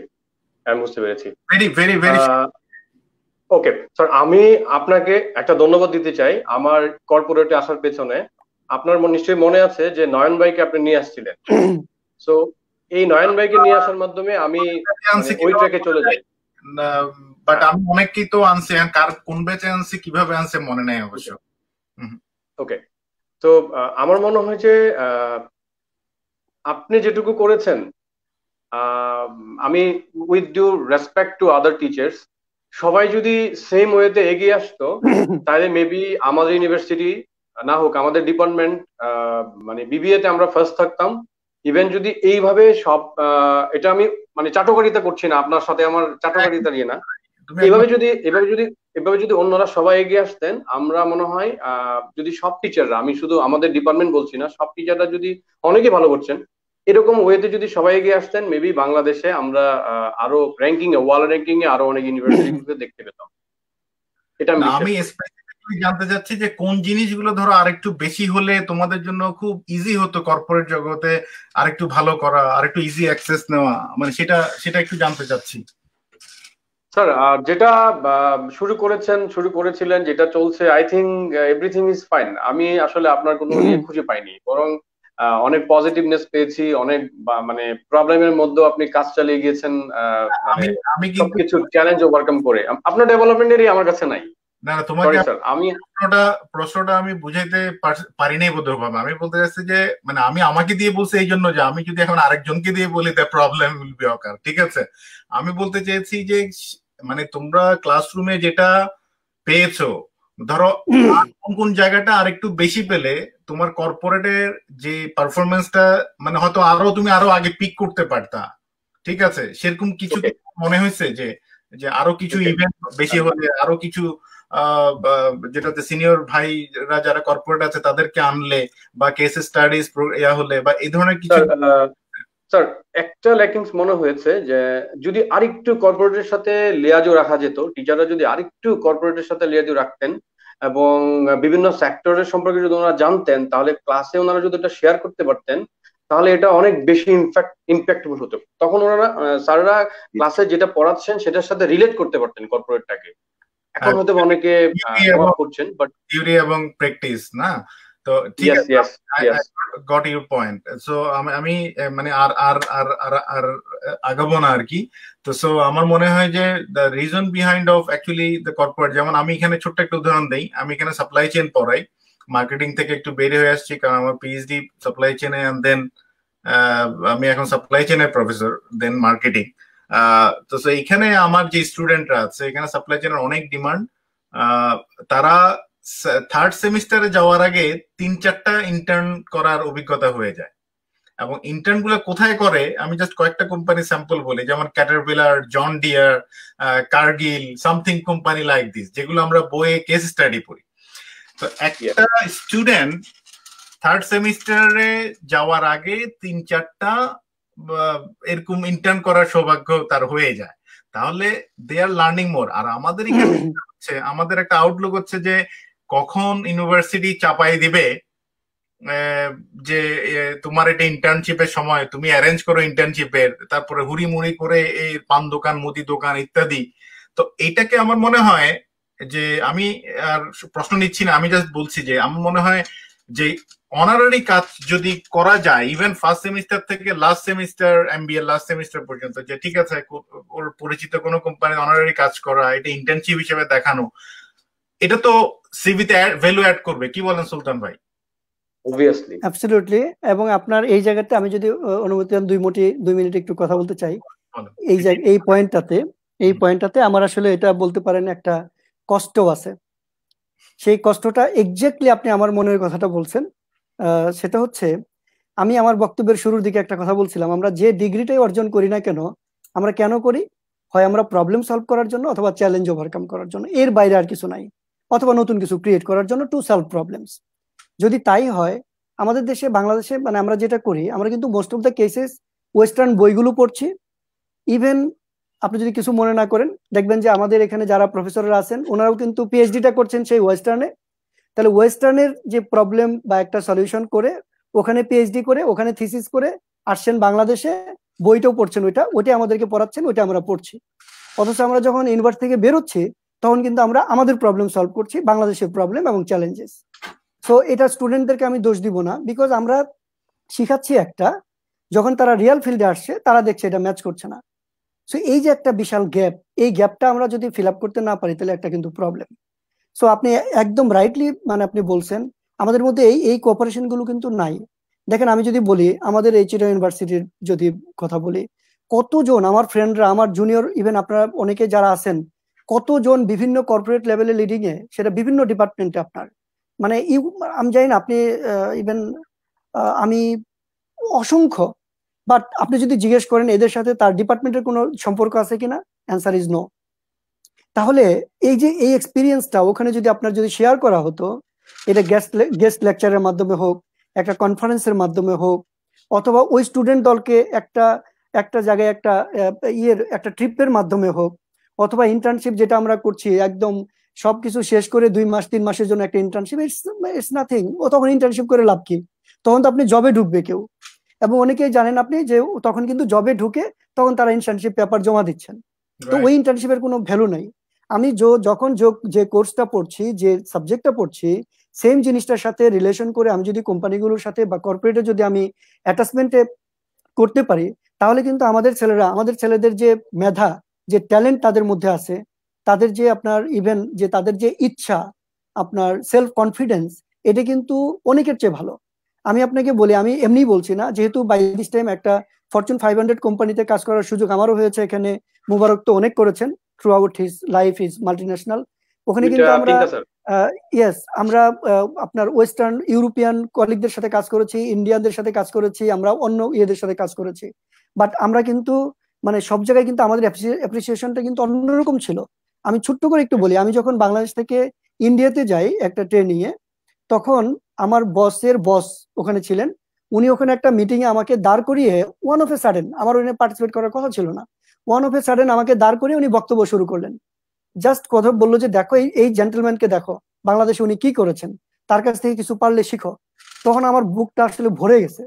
সো এই যে জিনিসগুলো, এটা আমি আমার কথা বলছি না, আমি কথা বলছি, আমি কিন্তু বলছি আমি একদম অর্ডিনারি একজন স্টুডেন্ট আমার ডিপার্টমেন্টের আমার চেয়ে অনেক ব্রিলিয়ান্ট স্টুডেন্ট কিন্তু আছে এবং তারা অনেকেই ভালো করছেন। বাট এদের সাথে ডিপার্টমেন্টের সেই কোঅপারেশনটা কোথায়? স্টুডেন্টরা কি শিখবে? স্টুডেন্টরা মানে সেই অ্যাটাচমেন্টটা কোথায়? এই জায়গাগুলোতে যদি আমরা গ্যাপগুলো ফিল আপ করতে না পারি, তাহলে কিন্তু আমাদের মানে রাইট যে আপনার ইয়েটা আউটকামটা এটা আসলে আসবে না। আমি আপনাকে ধন্যবাদ জানাই যেহেতু আপনার মাথায় এটা আসছে আমি আপনাকে রিকোয়েস্টও করব। এই জায়গাগুলোতে এনে যদি আমরা একটু কাজ করতে পারি আমার মনে হয় যে অনেক এই ফিউচার মানে ফিউচার প্রজন্ম যারা আসছেন তারা অনেক বেশি উপকৃত হবেন। আমি আর আসলে পারব না কিন্তু আমি আপনার কথায় সমাপনে কিছু কথা বলব। সেটা হচ্ছে মজার ব্যাপার হচ্ছে আমি এত তেরো হাজার মাইল দূরে আসার পরে আপনাকে পেলাম লাইভে ঠিক আছে? আমি আসার আগে কিছুদিন আগে পঁচিশ বছর পূর্তির একটা প্রোগ্রাম করেছিলাম আমাদের ডিপার্টমেন্টে এবং সেখানে আমি একটা ডাটাবেস করেছি, এবং এর আগে আমি বোধহয় আমি পনেরোশো জনের একটা ডাটাবেস করে দিয়ে আসছি। এবং আমি টাইম টু টাইম গ্রুপে আমি জানি না আপনি গ্রুপে বোধহয় আপনাকে অ্যাক্টিভ কখনো দেখি নেই আপনারা ব্যস্ত থাকেন। সবাইকে ইনভাইট করেছি যাদেরকে চিনি পার্সন টু পার্সন যোগাযোগ রেখেছি। আমি অনেককে এনেছি ক্লাসরুমে কিন্তু চিটাং ইউনিভার্সিটি ডিস্টেন্সের কারণে লোকেশনের কারণে, ঢাকা, বেশিরভাগ আমাদের ভালো ছেলে মেয়েরা ভালো জায়গায় কাজ করে ঢাকায়। তো ওরা ফ্লাইটে করে এসে এই করে, ওদেরকে তো আর আমি কোনো খরচই দিতে পারব না। ওদের ওদের ভালোবাসার টানে আমার রিকোয়েস্টে অনেকে এসছেন, অনেকে সময় দিয়েছেন। এবং একটা গ্রুপ করা আছে মার্কেটিং এ। আপনি জেনে খুশি হবেন যে ওখানে প্রায় ছাব্বিশশো অ্যালমনাই বা এক্সিস্টিং স্টুডেন্ট আছে। আমি গতকালকে টোটাল কমার্স ফ্যাকাল্টির অ্যালমনাই অ্যাসোসিয়েশন দেখছিলাম অনলি দুই হাজার লোক এখন পর্যন্ত। ওনারা কিন্তু অনেক আগে অ্যাক্টিভ ওনারা অনেক আগে থেকে অ্যাক্টিভ ওনাদের দুই হাজার। সেখানে মার্কেটিং ডিপার্টমেন্টে এখন ছাব্বিশশো এখনকার কারেন্ট স্ট্যাটাস হচ্ছে ছাব্বিশশো। এবং এটা আমি তিল তিল করে মানুষকে এমনও আছে ফেসবুকের অ্যাকাউন্ট খুলে দিয়ে ওকে অ্যাড করে ওকে পাসওয়ার্ড দিয়ে, হয়তো পাসওয়ার্ড এখন আমার কাছে আছে, এমন লোক আছে। তো যেমন এই ছেলেগুলোকে, এই যে হোসেন জয়, ব্যাচ বা তাদের কন্টেম্পোরারি এদেরকে আমি ফেসবুক অ্যাকাউন্ট মানে অ্যাসাইনমেন্ট দিয়ে খুলিয়েছি। ইমেল অ্যাকাউন্ট ইয়ে দিয়ে খুলিয়েছি, ঠিক আছে? তারপরে আপনার আমি আমি নিজের গল্প করছি না, আমি বলছি I try to change something এবং এই যে আমি লাস্ট থ্রি ফোর ইয়ার্স আমি অস্ট্রেলিয়া থেকে পিএইচডি করে দুই হাজার চোদ্দ সালে ব্যাক করেছি শেষের দিকে। তখন থেকে আমি গুগল ক্লাসরুম ইউজ করেছি। যে আজকে প্যান্ডামিক এসছে। ছেলে পেলেদেরকে গুগল ক্লাসরুম ইউজ করানোর চেষ্টা করেছি। ওখানে সিম্পল কুইজ দিয়েছি। এখন দেখা গেল কি থার্টি ফোর্টি পার্সেন্ট ছেলে পেলে বলছে, আমার স্মার্টফোন নাই, আমার এরকম করা নাই, আমার এরকম নাই, সে রেসপন্স করছে না। এখন পরে আমি এটাকে বাধ্য হয়ে বন্ধ করে দিতে হলো। কিন্তু দেখেন, আমি চোদ্দ সালের শেষে কিন্তু আমি গুগল ক্লাসরুম ইউজ করেছি। ঠিক আছে? এবং এই যে গুগল ফর্ম করেছে যে ইনফরমেশন নেয়ার জন্য। প্রত্যেকটা ব্যাচ আমার মনে হয় সতেরো ব্যাচ সতেরো ব্যাচ বা ষোলো ব্যাচের পরে থেকে সবার সাথে একটা প্রাইভেট গ্রুপ আছে আমার, যাদের সাথে আমার ক্লাস আছে। ওটাকে আমি ব্ল্যাকবোর্ড হিসাবে ইউজ করতাম, যেহেতু গরিবের আর কোনো ব্ল্যাকবোর্ড নাই। সো আমি জাস্ট এটা ছিটে ফোটা বললাম। So we tried our best anyway I am not working that place right now but ভালোবাসাটা অবশ্যই আছে, যেহেতু আমি ওখানকার ছাত্র কানেক্টিভিটি এখন অ্যালামনাইদের যেমন একটা করণীয় আছে, আসলে ব্যাপার হচ্ছে কি, সময় দেয় না কেউ। ঠিক আছে? অ্যালামনাইরা তো ব্যস্ত থাকে কিন্তু শিক্ষকদের মধ্যে অনেকে আছে যে সময় দিতে চায় না। এখন আসলে সময়টা দিতে হবে। ইয়েস হোসেন জয়, বলো। স্যার আমি আসলে অভিযোগ করছি না বাট আপনি জানেন যে আমি যেহেতু টুকটাক আগে বলছেন যে টুকটাক লিখি বা ছেলেদের সাথে একটু টুকটাক চেষ্টা করি, তো আমার কাছে যেটা মনে হয়েছে, আমি কাউকে দোষারোপ করছি না, আমার কাছে যেটা মনে হয়েছে দুইটা জিনিস। নাম্বার ওয়ান হচ্ছে যে লার্নিং যে approach we are running to generate money not learning তো ছেলেপেলে যেটা করে নক করে হচ্ছে মানে জবের জন্য বাট খুব কমই নক করেছে যে আমি এটা শিখতে চাই আমি এটা জানতে চাই আমাকে কীভাবে এটা শেখা যায় এটা খুব কম পেয়েছি। তো ওই অ্যাপ্রোচটা জন্মানোটা খুব ইম্পর্টেন্ট না আরেকটা আরেকটা ব্যাপার হচ্ছে আমার কাছে খুব কষ্ট লাগে যে এটা আমি সারা জীবন তোমাদের ক্লাসে মনে আছে? তোমাদের কোন জার্নালিস্ট স্টুডেন্টকে আমি ক্লাস আমার প্রাইভেট রুমে আসতে দিতাম না মনে আছে? Only class monitor can come আমার মনে হয় ছিল সাজ্জাদ উপল ঠিক আছে? সাজ্জাদ। আর কাউকে আমি অ্যালাউ করতাম না। কেন? কেউ আসতে চাইলে কেউ প্রশ্ন করলে বারান্দায় বা আসার সময় আমি বলতাম যে আজ this question to the classroom in the classroom ওই ক্লাসরুমে করলে সবাই জানলো। অনেক ইন্ট্রোভার্ট আছে তারা জানলো। আমাদের এখানে এখন হয়েছে কি আমরা একটা প্ল্যাটফর্ম তৈরি করছি। আমি অনেক কষ্ট করেছি। আমি যে কত ঘণ্টা দিয়েছি আমি এগুলো আসলে মানে নিজের পেশন থেকে করেছি। ঠিক আছে? আমি যে কত হাজার ঘণ্টা দিয়েছি আমি এগুলো হিসাব করে পাবো না। কিন্তু আমি কেন করেছি? যাতে করে একটা স্টুডেন্ট ওই ফোরামে লিখে এই সাহায্যটা চায়। ওই সাহায্য হয়তো অনেকে চাচ্ছে বলতে পারতেছে না লজ্জায়। অনেকে সে কি ফিল করে? আমি চাইছিলাম যে ইট উইল বি পাবলিক কিন্তু এখনকার ছেলেমেয়েরা এত স্মার্ট এখনও বলছি যে তারা কিন্তু তোমাদের সাথে ইন্টারনালি মেসেঞ্জারে হোক ফোনে হোক যোগাযোগ করে তাদের কাজটা উদ্ধার করছে। কিন্তু ওই যে অনেক যারা ইন্ট্রোভার্ট তারা কিন্তু ঠিকই ইন্ট্রোভার্ট রয়ে যাচ্ছে। তারা কিন্তু জানছেও না যে কার মাধ্যমে হেল্পটা আসবে। যারা স্মার্ট তারা কিন্তু লিঙ্কটা ইউজ করে কিন্তু এই প্ল্যাটফর্মটা ইউজ করে কিন্তু বেনিফিশিয়ার এবং তারা এটা কৃতজ্ঞতা করেই না বরঞ্চ সে মনে করে সে সেটা তার ক্রেডিবিলিটি ঠিক আছে? যে সে পার্সন কিন্তু এই প্ল্যাটফর্ম না থাকলে কি তুমি এটা করতে পারতা? আজকে সুলতান ভাই কে অনেকে চিনছে আমি নিশ্চিত যে সুলতান ভাইয়ের কাছে অনেকে আপনার কাছে একটু এখন মেসেজ বেশি যাবে বা রিজিউম বেশি যাবে কনফার্ম আমি যে অন্তত আমার সার্কেলে যারা আছে আপনাকে আজকে পয়েন্ট আউট করতে পারছে তো আমি রিকোয়েস্ট করব যদি পারেন ওদেরকে হেল্প করবেন অবভিয়াসলি সো ডিপার্টমেন্টের স্বার্থে আর কি।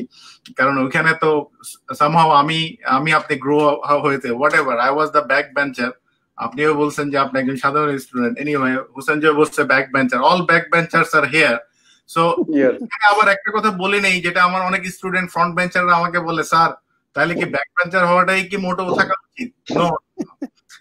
ব্যাপারটা হচ্ছে আমি এটা যে যে ব্যাক বেঞ্চার যদি এতটুকু আসতে পারে তাহলে আপনারা আমরা যদি এইটুকু আসতে পারে আপনারা তো চাঁদে যাওয়া উচিত অথবা প্লুটো পর্যন্ত যাওয়া উচিত। আপনার জন্য প্রেশারটা আরেকটু বেশি হওয়া উচিত। কারণ হচ্ছে আমি ব্যাক বেঞ্চার আপনি ব্যাক বেঞ্চার যদি এইটুকু আসেন তাহলে আপনার frontbencher should go far away ঠিক আছে? এনিওয়ে কে কতটুকু যাবে আল্লাহ জানে। তো আমরা আজকে ভাইয়া এখানে শেষ করি। আহ, আর এমনি কি একদম বলতে হবে এমন কোনো কথা আছে? নালে শেষ করি। স্যার আমার দুইটা প্রশ্ন আছে। Thank you ji. হ্যাঁ হোসেন দুই ঘণ্টা বারো একটা হচ্ছে সুল- হ্যাঁ একটা হচ্ছে সুলতান স্যারের কাছে আর একটা হচ্ছে আপনার কাছে। জি বলেন। ফার্স্টে আপনার কাছে করি। স্যার আপনার কি মনে হয় যে মানে আফসোস হয় যে হারি কর্পোরেট কেন ছাড়লাম? কর্পোরেটে থাকলে মনে হয় আমি একজন মাহাতাবুদ্দিন হতে পারতাম। এরকম কি কাজ করে? আমি তোমার এই প্রশ্নটার উত্তর আমার ভিউ পয়েন্টে দেই।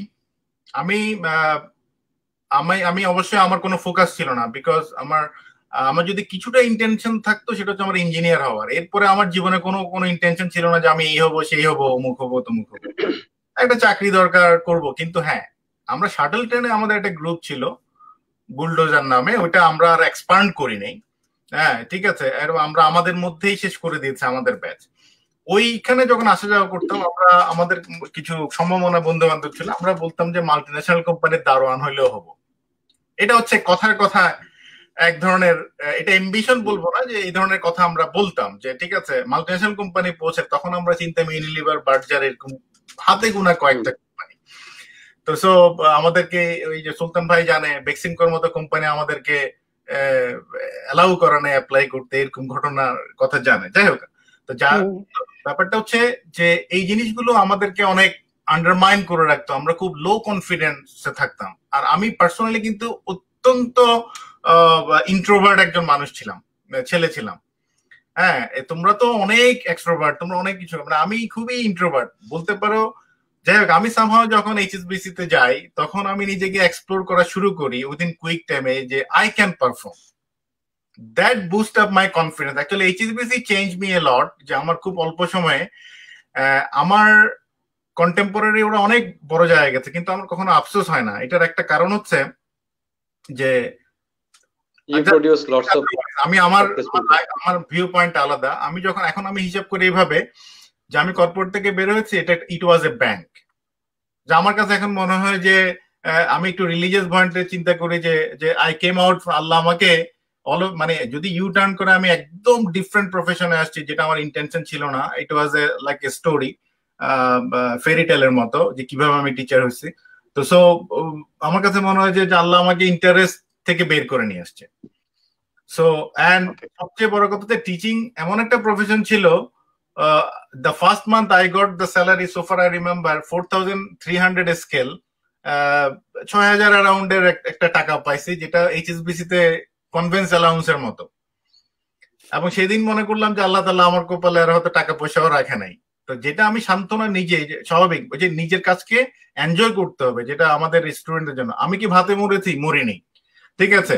হ্যাঁ আমার ফ্যামিলির সাপোর্ট ছিল। এর মানে না আমার ফ্যামিলি কিন্তু আমাকে ফিট করেছে। আমার ফ্যামিলি আমার ভাইকে যদি বলা হয় যে, আমার ভাই কখনো আমাকে বলেছে যে, তোর এই মাসে হাত খরচের জন্য এত টাকা দিলাম।